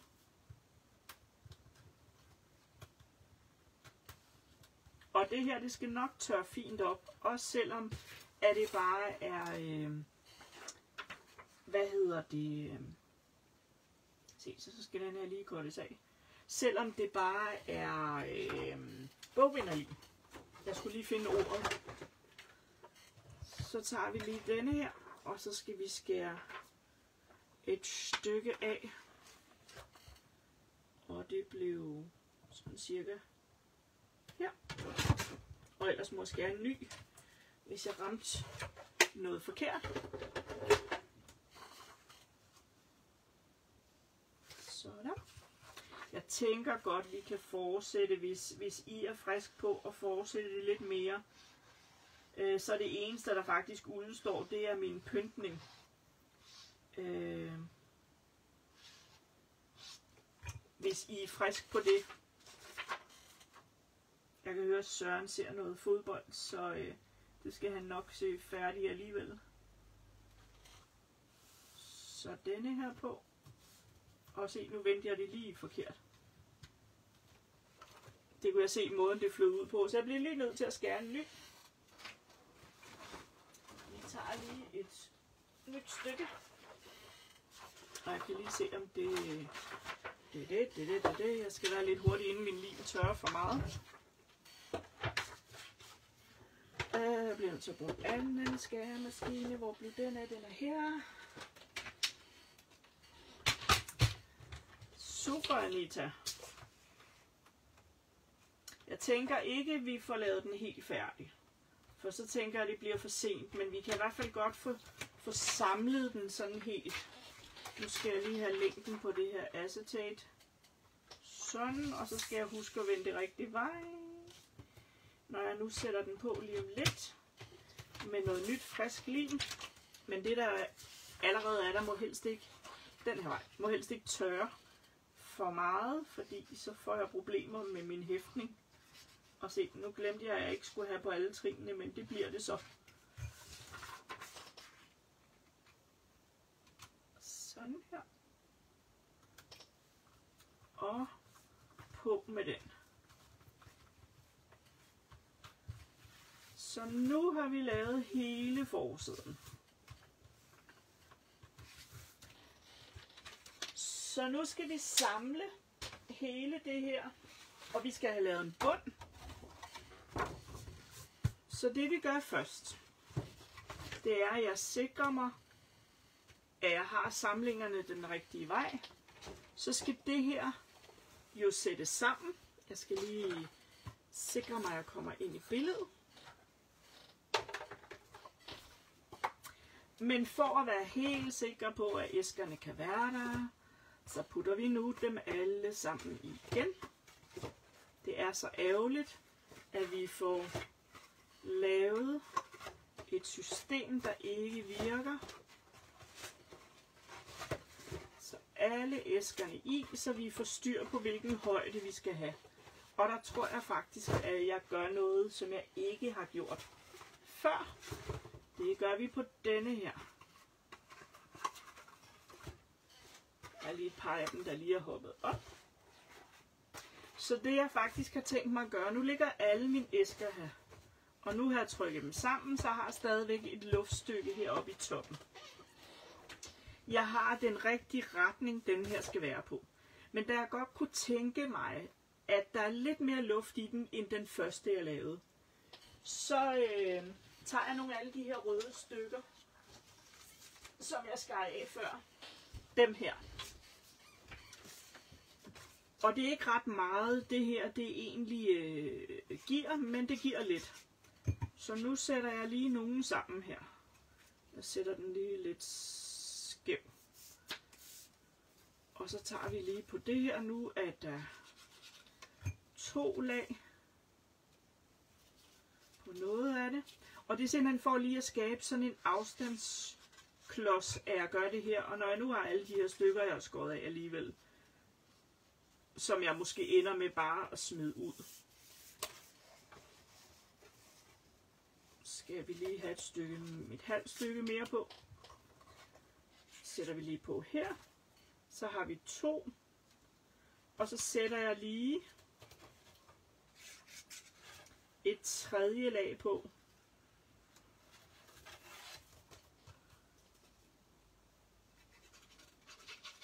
Det kan nemlig hurtigt blive for stramt, det man laver her, og det er så ærgerligt.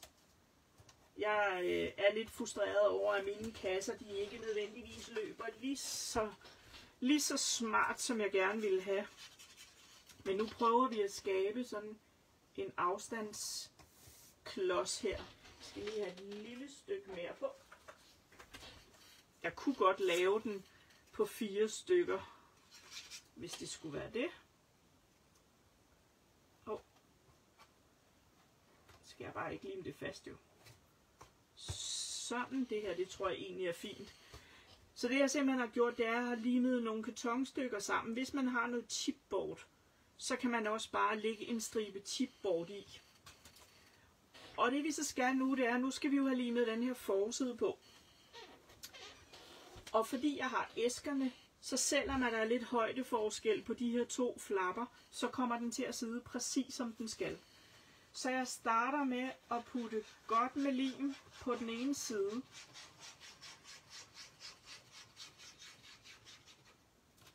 Og det er den side, der faktisk er tættest på mig, jeg nu har puttet lim på. Og så skal den simpelthen op og lægges på. Op i toppen.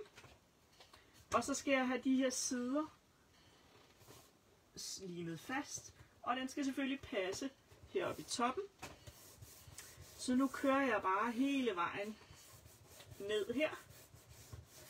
Og lige sikrer mig, at det kan godt være, at jeg skal trimme en lille smule hernede, men det må jeg gøre, når jeg har sat den på. Og så åbner vi lige låget her. Ikke, det gør vi ikke, nej, fordi den skal jo hæfte. Vi vender den op. Sådan der. Og så skal jeg have lim på den anden side. Og det kan jeg egentlig bare gøre i denne her vinkel.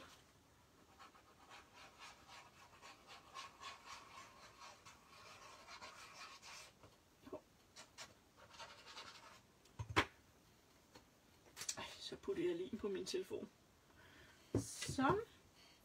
Så lægger vi simpelthen denne her på. Jeg skal bare lige redde det lim, der løber der.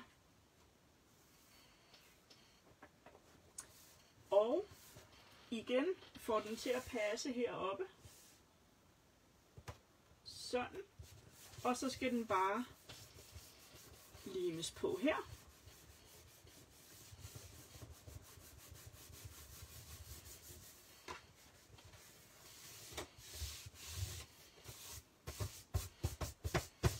Sådan. Det man så kan herude på siden, det er jo, at man kan tage noget, øh, jeg skal lige vente den rigtige vej her. man kan tage noget mønsterkarton, hvis man vil det. Jeg tænker bare, at jeg vil skære sådan nogle stykker, jeg så sætter på her.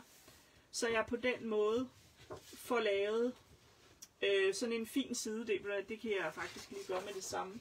Fordi jeg kan faktisk bare tage det her af fire papir. Og så kan jeg lige finde sådan der. Og så finder vi lige, hvad det er. Det er en... Hvis vi laver den i fire. Jeg laver lige sådan en fire stribe her. Og en fire stribe her. Og dem skal jeg jo bruge seks stykker af.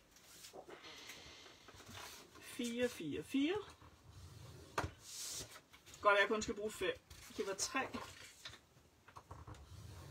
Det var 4. Det var 5. Vi nøjes lige med 5 først. Og så folder jeg dem lige. Fordi så har jeg en her, jeg skal lige se, de er en lille smule for store på den ene led, så vi skal også lige skære lidt af dem. Så vi tager lige skærmaskinen igen. Og så skærer jeg bare af, nu skal jeg jo gøre det rigtigt, at det her det er fire siden. Den skærer jeg ikke noget af, fordi den har en lille smule luft i. Så på den anden her skærer jeg lidt af. Og jeg tager det simpelthen bare på slum. Og skærer man lidt for meget af, så gør det ikke noget. Jeg skulle lige have en lille smule mere, tror jeg. Ved I hvad jeg tænker? Hvis man sætter den, hvis man skærer en, øh, en fjerdedel af, så den faktisk er 8, den her er 4. Så øh, tænker jeg, det passer.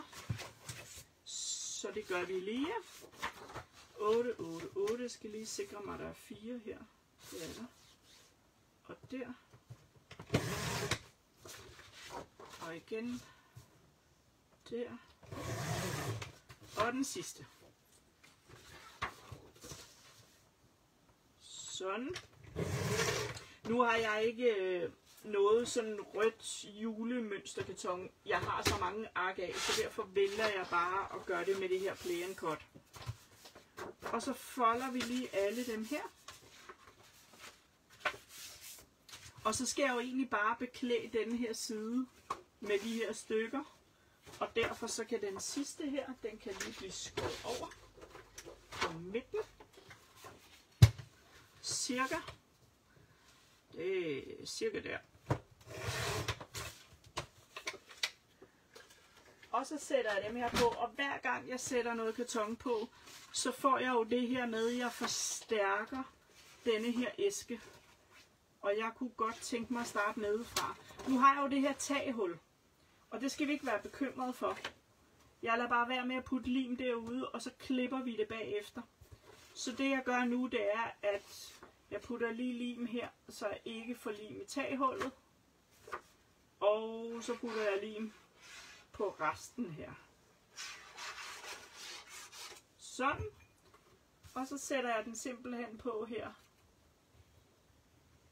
Helt ned til kanten. Det her, det klipper vi bagefter. Så tager jeg den næste.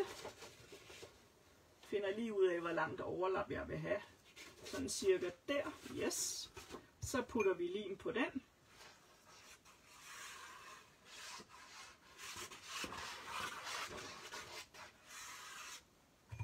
Og sætter den på. Og fordi jeg har lavet falselinjen her, så passer den jo perfekt til ombukket her. Og på denne her, der er det jo vigtigt, at jeg får den til at passe op i toppen.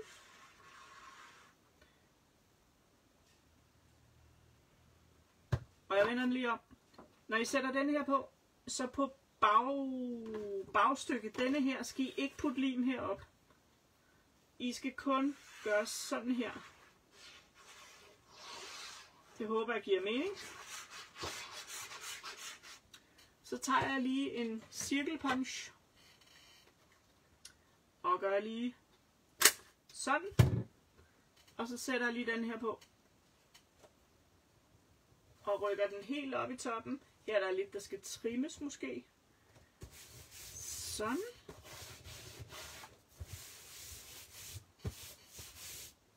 Så nu ser den sådan her ud.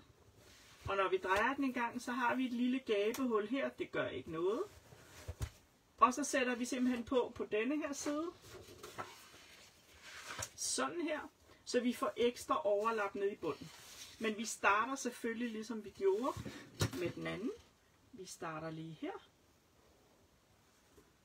Og så må man lige sådan være med på, hvor skal man, undskyld, hvor skal man putte limen hen.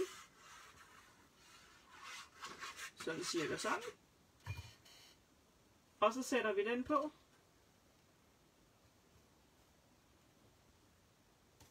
I den rigtige højde.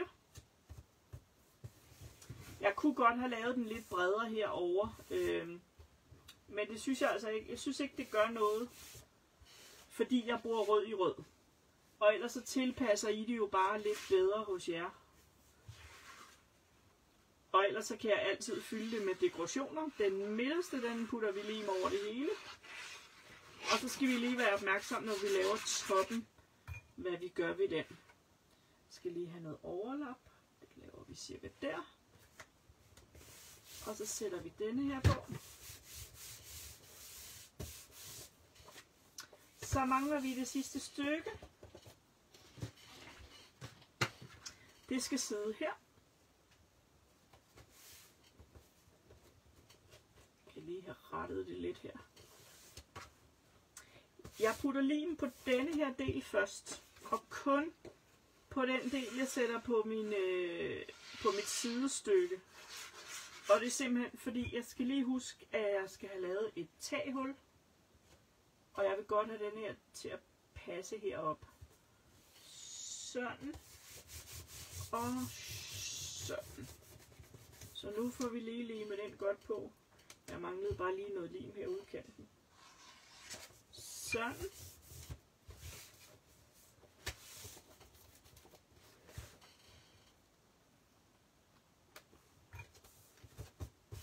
Og så kan jeg jo øh, dekorere alt det, jeg vil herude. Jeg kunne sætte washi tape på, eller hvad jeg nu synes, jeg vil. Denne her har jeg ikke sat fast endnu, men jeg har jo et taghul. Og det blev lidt skævt, det første taghul her.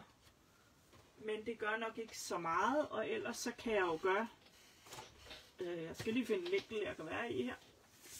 Sådan. Så kan jeg jo gøre noget andet, fordi jeg behøver jo ikke at have sådan en flot taghul. Jeg kan jo bare gøre sådan her. Og sådan her. Det er mit taghul. Så tager jeg den her nede under. Og den skal vi så have wood. Der er hul i her, ikke? Det skal I lige huske. Så den skal vi så have trimmet med her. Og det kan godt være, at jeg skal lave den lidt større måske, så jeg kommer helt ud til kanten af det der taghul. Skal lige have fat. Sådan. Så nu har jeg simpelthen klippet et taghul. Hvis, hvis man synes, det er skævt, så øh, klipper man jo bare et nyt. Og når jeg nu har styr på det, så kan jeg godt putte lim på her.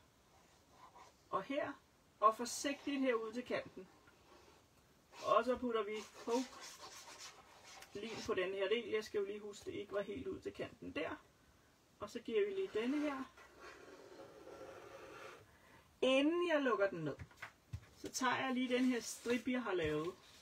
Den hiver vi lige ud, for den skal jeg lige bruge. Jeg skal lige have klippet en sådan pæn lige kant, jeg kan stoppe herned. Sådan. Og så lukker jeg den lige. Og det er simpelthen for, at den ikke skal blive for stram herop. Fordi nu har jeg det der hul til min flap. Yes. Det vi så mangler, vi mangler faktisk, at vi skal trimme hernede ved den nederste æske. Og der kan jeg jo herinde se, hvor at øh, det røde karton er. Og derfor så klipper jeg bare sådan her.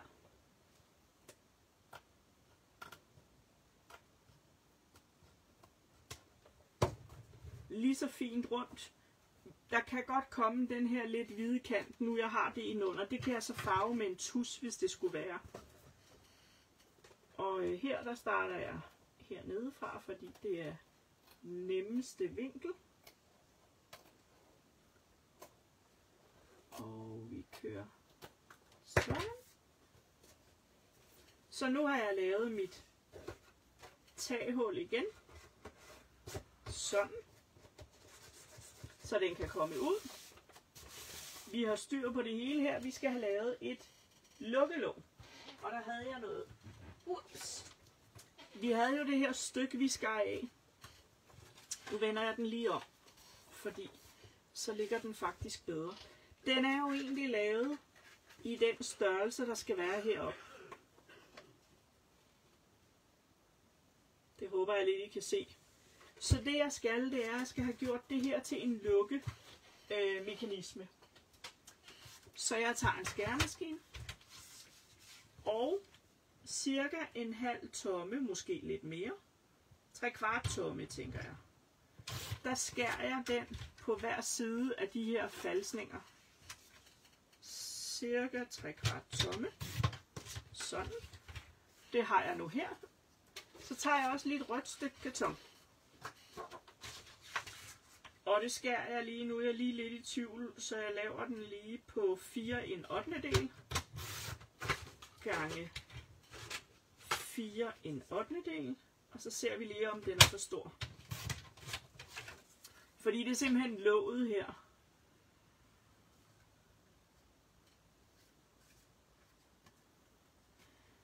Så trimmer vi skævt i begge sider.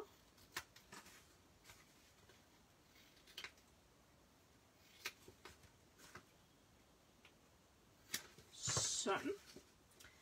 Så skal jeg lige tjekke, om den skulle være 4 en 8. del på begge ledere her.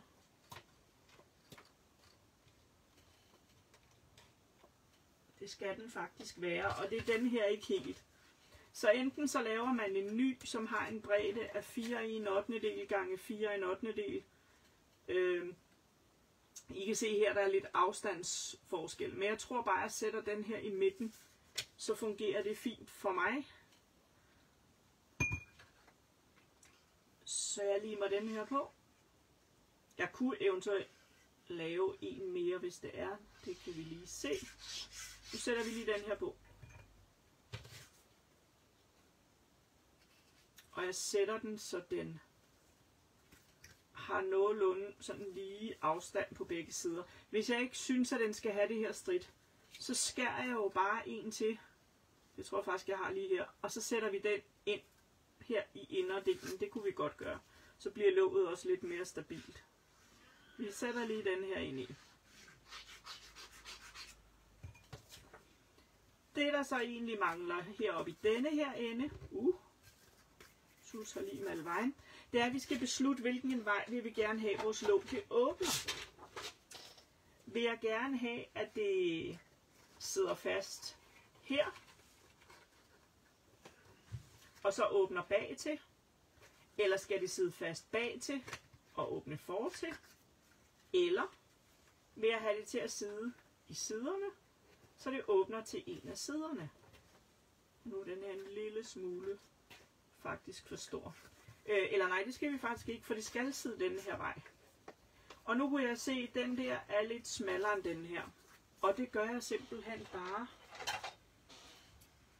Jeg sagde nemlig noget brøvl, så nu klipper jeg bare lidt af den her af. Og så skal vi nu have limet den her ind i. Vi sørger for, at den er sådan god og fleksibel. Vi sætter lige lim på denne her side. Altså ydersiden. Sådan. Så tager jeg lige den første æske ud, hvis jeg kan. Fordi jeg skal helst ikke lime den fast. Det har jeg måske allerede gjort. Jeg vrider den lige ud. Sådan. Det er da ligesom den, den er blevet for stram. Hvad har jeg lavet? Hvad har jeg lavet? Hvad har jeg lavet? Jeg kan ikke få den til at glide. Nå, det må jeg lige finde ud af bagefter. Nu sætter jeg lige denne her. Jeg havde jo slissen heromme på bagsiden. Så der putter jeg den lige i. Sådan. Og så løfter vi her. Og så får vi lige limet den her på. Den skal lige lidt længere ned, så man ikke kan se den hvide kant sådan. Den skal blive der. Ups, jeg rammer ned. Vi åbner lige fra den anden. Jeg kan slet ikke få den til at sidde fast. Vi putter lige igen. Eventuelt så må jeg lige putte noget, øh, noget acetate. Jeg tror lige, jeg skal have rundet en lille smule her i hjørnerne. Og så sætter vi den ind her. Langs kanten. Og den skulle altså gerne kunne sidde der. Sidde, sidde, sidde. Holde fast, holde fast. Og beklager, hvis der er nogen, der er skrevet. Det er der ikke. Nu skal jeg så bare lige finde ud af, hvorfor mine æsker de ikke løber. Om jeg simpelthen alligevel har fået strammet den for meget. Se, nu har jeg min lukning i hvert fald. Og så bliver jeg lige nødt til at rejse den op, fordi mine æsker skal jo glide ned. Og det gør de ikke. Jeg har måske strammet den et eller andet sted for meget. Det skulle jeg ikke. Vi åbner lige toppen, det kan I ikke se. Og så bliver jeg lige nødt til at presse. Det kan altså godt være, at der har været et stykke, øh, en, en limklat et eller andet sted. Det er som om, den er blevet for stram min. Det skal I altså lige kontrollere, at I får afstand nok på. Jeg kan ikke få dem ud. Jeg kan ikke få dem ud. De sidder fast nu. Jeg skal lige finde ud af, hvor problemet er.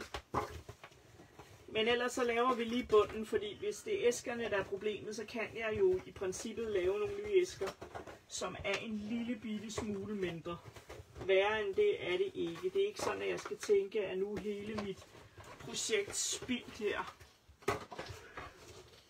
Og den her flap vil ikke sidde på, når jeg er voldelig. Det kan også godt være det, fordi min æsker ikke er lukket helt rigtigt, at den driller. Fordi det virker altså fint i den anden, jeg har. Når den ikke lige støder på kanten. Og lige nu, der er nogen, der ligger skråt her. Vi prøver lige trickset, der hedder, kan vi få dem ned? Det kunne vi. Okay, så begynder de at glide. Kan I se det?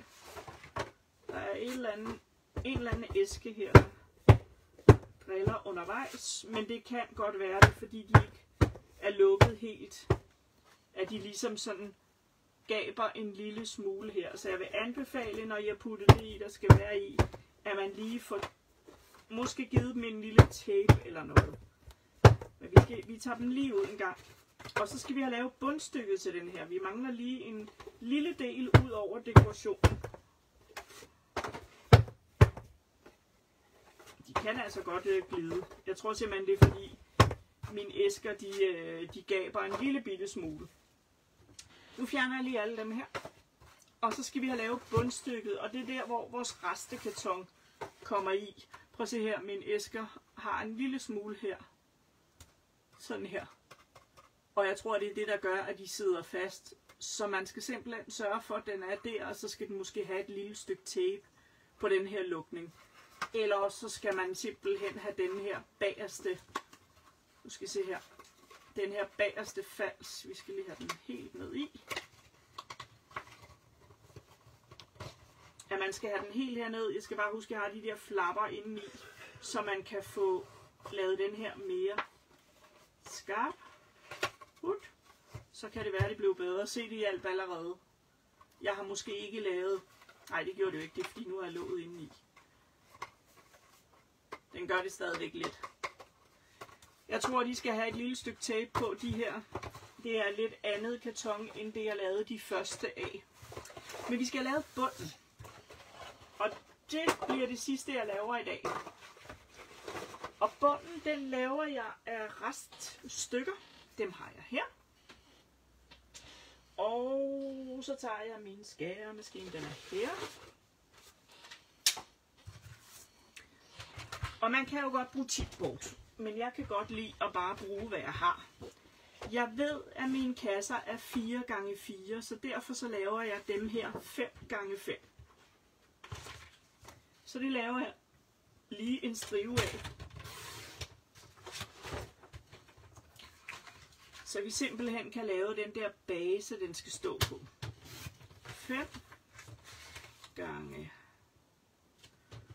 oh, gange 5. Og jeg skal måske have en 3-4 stykker. Det kan også godt være, at jeg skal have mere. Det vurderer man ligesom i forhold til, hvor kraftig man synes, den skal være. Og det er med vilje, jeg laver den en lille smule større. Det giver simpelthen noget stabilitet i forhold til, til tårnet. Jeg vil gerne have pakket min bund ind, så min bund den bliver pæn og samme farve. Øh, altså med det røde karton. Jeg skærer lige nogle flere af dem her. Jeg kan helt sikkert godt bruge dem til noget i 5x5. Så vi tager lige et par stykker mere med, så jeg er helt sikker på, at det bliver kraftigt nok. Øh, men fordi jeg skal pakke det ind i noget øh, basiskarton, så er det lidt vigtigt, at jeg ikke runder hjørnerne. Dem kan jeg simpelthen ikke få pæne, når jeg pakker noget i. Og det jeg vil gøre, det er, at alle dem her, eller nogle af dem måske, limer vi simpelthen fast, fast på denne her base. Sådan her. Og så ser vi lige, hvor mange vi synes, der skal være. Og igen, nu bruger jeg hele blokken. Jeg har ikke noget affald, kan man sige, fra denne her. Og hvad siger du? Hmm. Tina, man kan få enemandskursus, når man kommer på besøg. Ej, det kan man ikke. Formålet med, at du fik lov til at komme på besøg hos os, det var, at du kunne skrabe med os andre. Jeg giver ikke ene undervisning, øh, fordi så får jeg aldrig lavet noget selv. Så det kan du ikke. Sådan er det ikke. Hvis man skal have undervisning, så øh, koster det kleiner, og så må man tilmelde sig hold, når jeg laver hold på noget. Det er vilkårene. Øh, og hvem skrev, hvem skrev her? Mette skrev, hun håbede at kunne lave min kalender i en lidt mindre udgave. Ja, det havde jeg faktisk også tænkt på, at jeg ville prøve at se om for eksempel lave den i 3 gange 3 æsker i stedet for. Øh, men øh, nu blev det lige det her. Se, jeg bruger 6 stykker. 6 stykker af det her rest. Og i princippet kunne jeg godt bruge øh, det sidste her og skære to mere, hvis jeg ville. Nu skal jeg lige se, hvor stabilt jeg synes, det er. Ej, ved I hvad? Vi tager bare de sidste. Vi kan lige så godt udnytte det det her, når vi nu har det. Og jeg havde to blokforsider. Så vi skærer lige i 5 gange 5 og sætter dem på også. Og så kan jeg nemlig lige pakke ind her.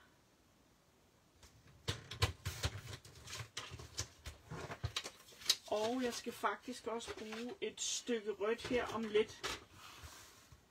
Og det skal jeg nok lige vise hvorfor. Så det jeg gør nu, det er, at vi sætter det her på, og så pakker vi simpelthen den her pakke ind. Lidt ligesom hvis vi lavede et album. Øh, jeg ved ikke, hvor mange af jer, der har øh, set, øh, at jeg laver album, eller har prøvet selv at lave nogle album. Men det vi lige gør, det er, at vi skal have noget lim her på øh, denne her del. Vi kunne godt have klippet hjørnerne først, men jeg tænker bare, at vi gør sådan her.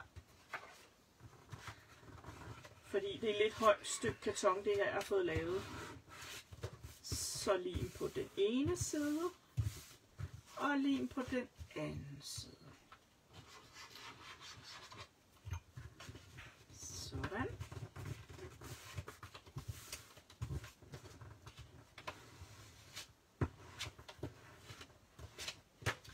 Så skal vi have pakket det her. Og øh, jeg skal lige have dem her trykket ind her i siden. Og gør det også lige den anden. Trykket ind her. Og hive ud. Så tager jeg lige min saks, og så klipper jeg lige lidt skråt her, fordi der er ingen grund til, at jeg får mere karton end højst nødvendigt. Men jeg klipper ikke helt ned til hjørnet. Det der så er her, kan jeg også godt tage lidt af, fordi det behøver vi i bund og grund heller ikke alt det her ekstra. Jeg gør det samme i denne her ende. Klipper lidt skråt. Og den anden vej. Ups. Lidt skråt. Sådan. Og jeg klipper igen noget af det her af. Sådan. Så skal vi have øh, pakket det her hjørne. Og der gør man simpelthen sådan, at man lige tager det her ekstra stykke ind. Og det behøver ikke at gøres flot eller andet, men man trykker det lige ind her og kører det ud. Og så er det vigtigt, at vi får godt med lim på, også i hjørnedelen her. Og så skal vi have den her pakke op, og der kan man godt bruge en lineal eller en bone folder. Og simpelthen trækker det her ud. Og trykker godt til. Så kan I se her, hvordan den er. Kan I se det? Fordi nu er jeg jo helt oppe i højden. Det kan I godt. Jeg trykker lige ned her igen. Og jeg tager lige de her hjørner og skubber dem lidt ind. Også i den anden side. Ind med den. Og så noget lim her.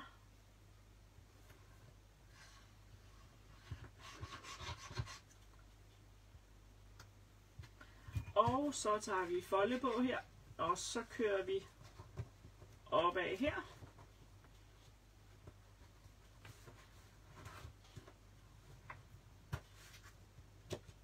Og sådan her. Nu har vi jo den her fold her. Det her kan jeg lade være bunden, eller det her kan jeg lade være bunden.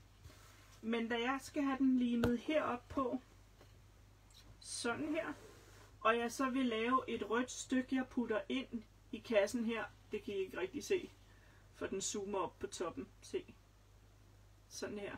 Nu kan jeg faktisk måske godt se noget af det, der går galt, fordi jeg kan se, at det er som om, at den har strammet mere ind her. Nå, det må jeg lige finde ud af, om det er det, der går galt med mine æsker. Men øh, nu putter jeg, uh, putter jeg lim på mit bundstykke her.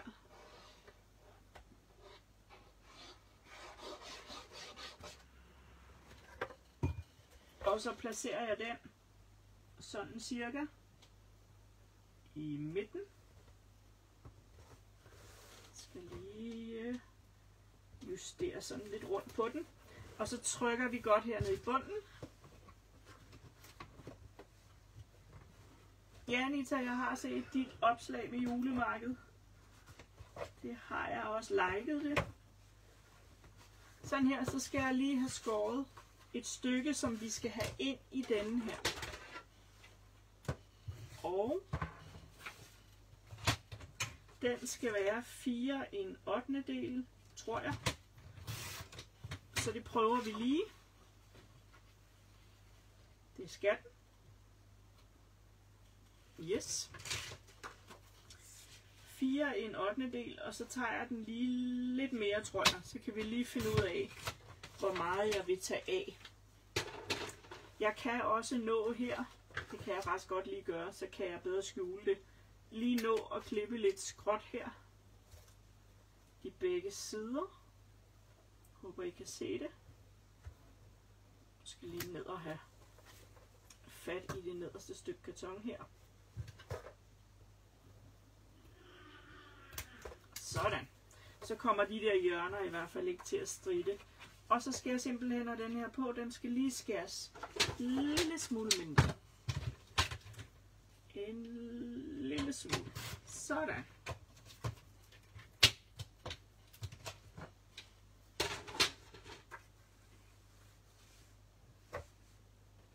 Sådan. Det tænker jeg er fint. Så sætter vi lige noget lin på denne her. Og så putter vi den forhåbentlig den rigtige vej. Det var det ikke. sådan her. Og ind og ned i bunden. Og lime på.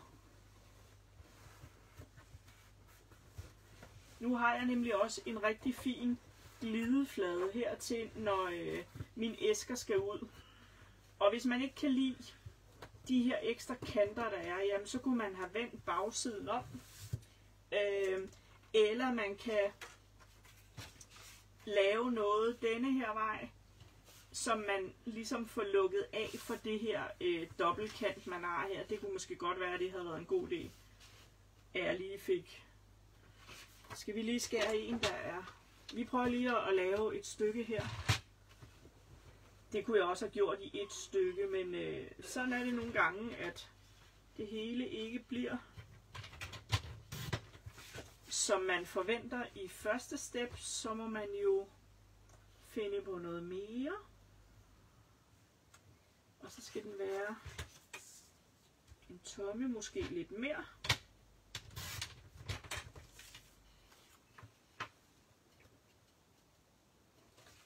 Lige en lille smule mindre. Sådan. Skal jeg se, om jeg kan få den til at blive der. Det kunne jeg ikke. Sådan. Så tror jeg, den er der. Så putter vi lige lim på den. Og så skal jeg lige øh, finde ud af, om min æsker kan glide ind i mit tårn. Og den skal selvfølgelig dekoreres. Og der skal nummer på min æsker. Hvis min æsker ikke kan glide ind i mit tårn, så bliver jeg nødt til at lave nogle nye, der lige er en lille smule mindre. Jeg tror måske, jeg har stramt noget af det for meget, siden det sådan bobler lidt her, når man kigger. Men det må jeg lige finde ud af, hvad det er, der, der driller. Det kan også godt være, at det bare var, fordi det hele ikke er tørt nok. Men nu har vi i hvert fald lavet tårnet. Og lukningen her. Så man kan ramme sådan. Og så kan jeg ellers bare dekorere, som jeg vil. Og på min oprindelige, der havde jeg jo dekoreret med mus. Og her har jeg mine æsker. Og de skulle jo gerne kunne puttes i, men jeg er lidt bekymret for det der med, at den åbner. Er det det, der giver problemer? Fordi der er altså masser af plads. Det må simpelthen være min åbning. Øh, hvad var det, at jeg snakkede om, at den måske var lige lidt for... Hvis man synes, den er blevet lidt for snært her, så kan man jo med en saks lige trimme lidt mere. Det kan godt være, at jeg tror, at jeg, jeg ved det. Så simpelthen, jeg tager bare lige min saks, og så kører jeg her. Og så klipper jeg, kan I egentlig se, hvad jeg laver? Så klipper jeg egentlig bare sådan en millimeters penge af her. Så den lige får lidt mere luft. Sådan.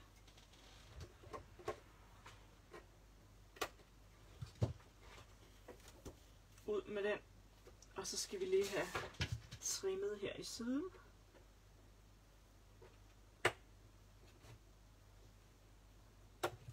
Så. Skal vi have en lidt mindre saks. Den her er ikke super god til sådan noget mikro-mikro arbejde her. Kom så. Og den der skal også lige hæfte ordentligt. Men det var tårnet. Det var æskerne. Og så skal jeg lige grave mig fri til den anden her. Sådan her. Og det var det andet tårn, jeg havde. Og der skal jeg altså lige lave noget dekoration på denne her, som jeg lægger nogle billeder op på, når jeg har lavet. Men det bliver tidligst i morgen, at jeg får kigget på det. Jeg skal også lige klargøre det, der kommer i live på tirsdag. Og på tirsdag, der er min live kl. 20. Fordi jeg lige har en øh, telefonsamtale med en bank inden, som lige skal nås først. Så jeg tænker, at det var alt for nu. Og så tror jeg, jeg putter min æsker i, hvor jeg lige putter et tape på, for lige at sikre mig, at de kan glide. Øhm, og alle mine æsker, de skal selvfølgelig ligesom de her have nummer. Jeg har valgt at putte dem i med åbningen sådan op og til den samme side alle mine æsker. Og så har jeg skiftet med nummer fra den ene side til den anden side. Det kunne også være i midten, eller hvor man nu synes, man vil have numrene. Men mine, de kører faktisk sådan her på hver anden æske. Og derfor så kan man se nogen. Og når der er en, der bliver smuttet, så kommer de så synlige over i den anden side her. Så det var øh, alt for mig for i dag. Og øh, så håber jeg, at I får lavet nogen, og får leget lidt med, med det her øh, system.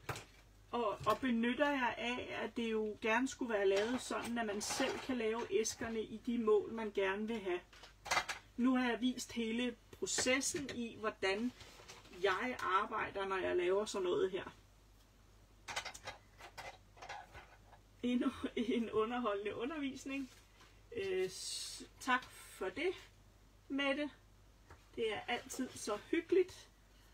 I er jo så velopdragende og kommer med så søde kommentarer og bemærkninger hele tiden. Det er jo fantastisk. Det er altid sjovt at lave noget for nogen, der sætter pris på det.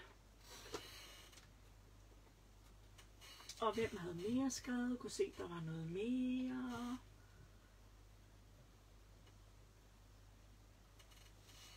Og Anita glæder sig til, at hun får lavet sin færdig. Yes. Og øh, ja, jeg tror ikke rigtigt, der var mere, jeg skulle sige andet end, øh, jeg hopper på igen øh, her i min egen gruppe på tirsdag kl. 20, hvor vi laver endnu en julehemmelighed. Og der håber jeg selvfølgelig, at I vil være med. Så øh, tak for nu. Og vi ses, og på et eller andet tidspunkt, så får jeg uploadet den her øh, til YouTube også. Så øh, vi ses. Hej hej.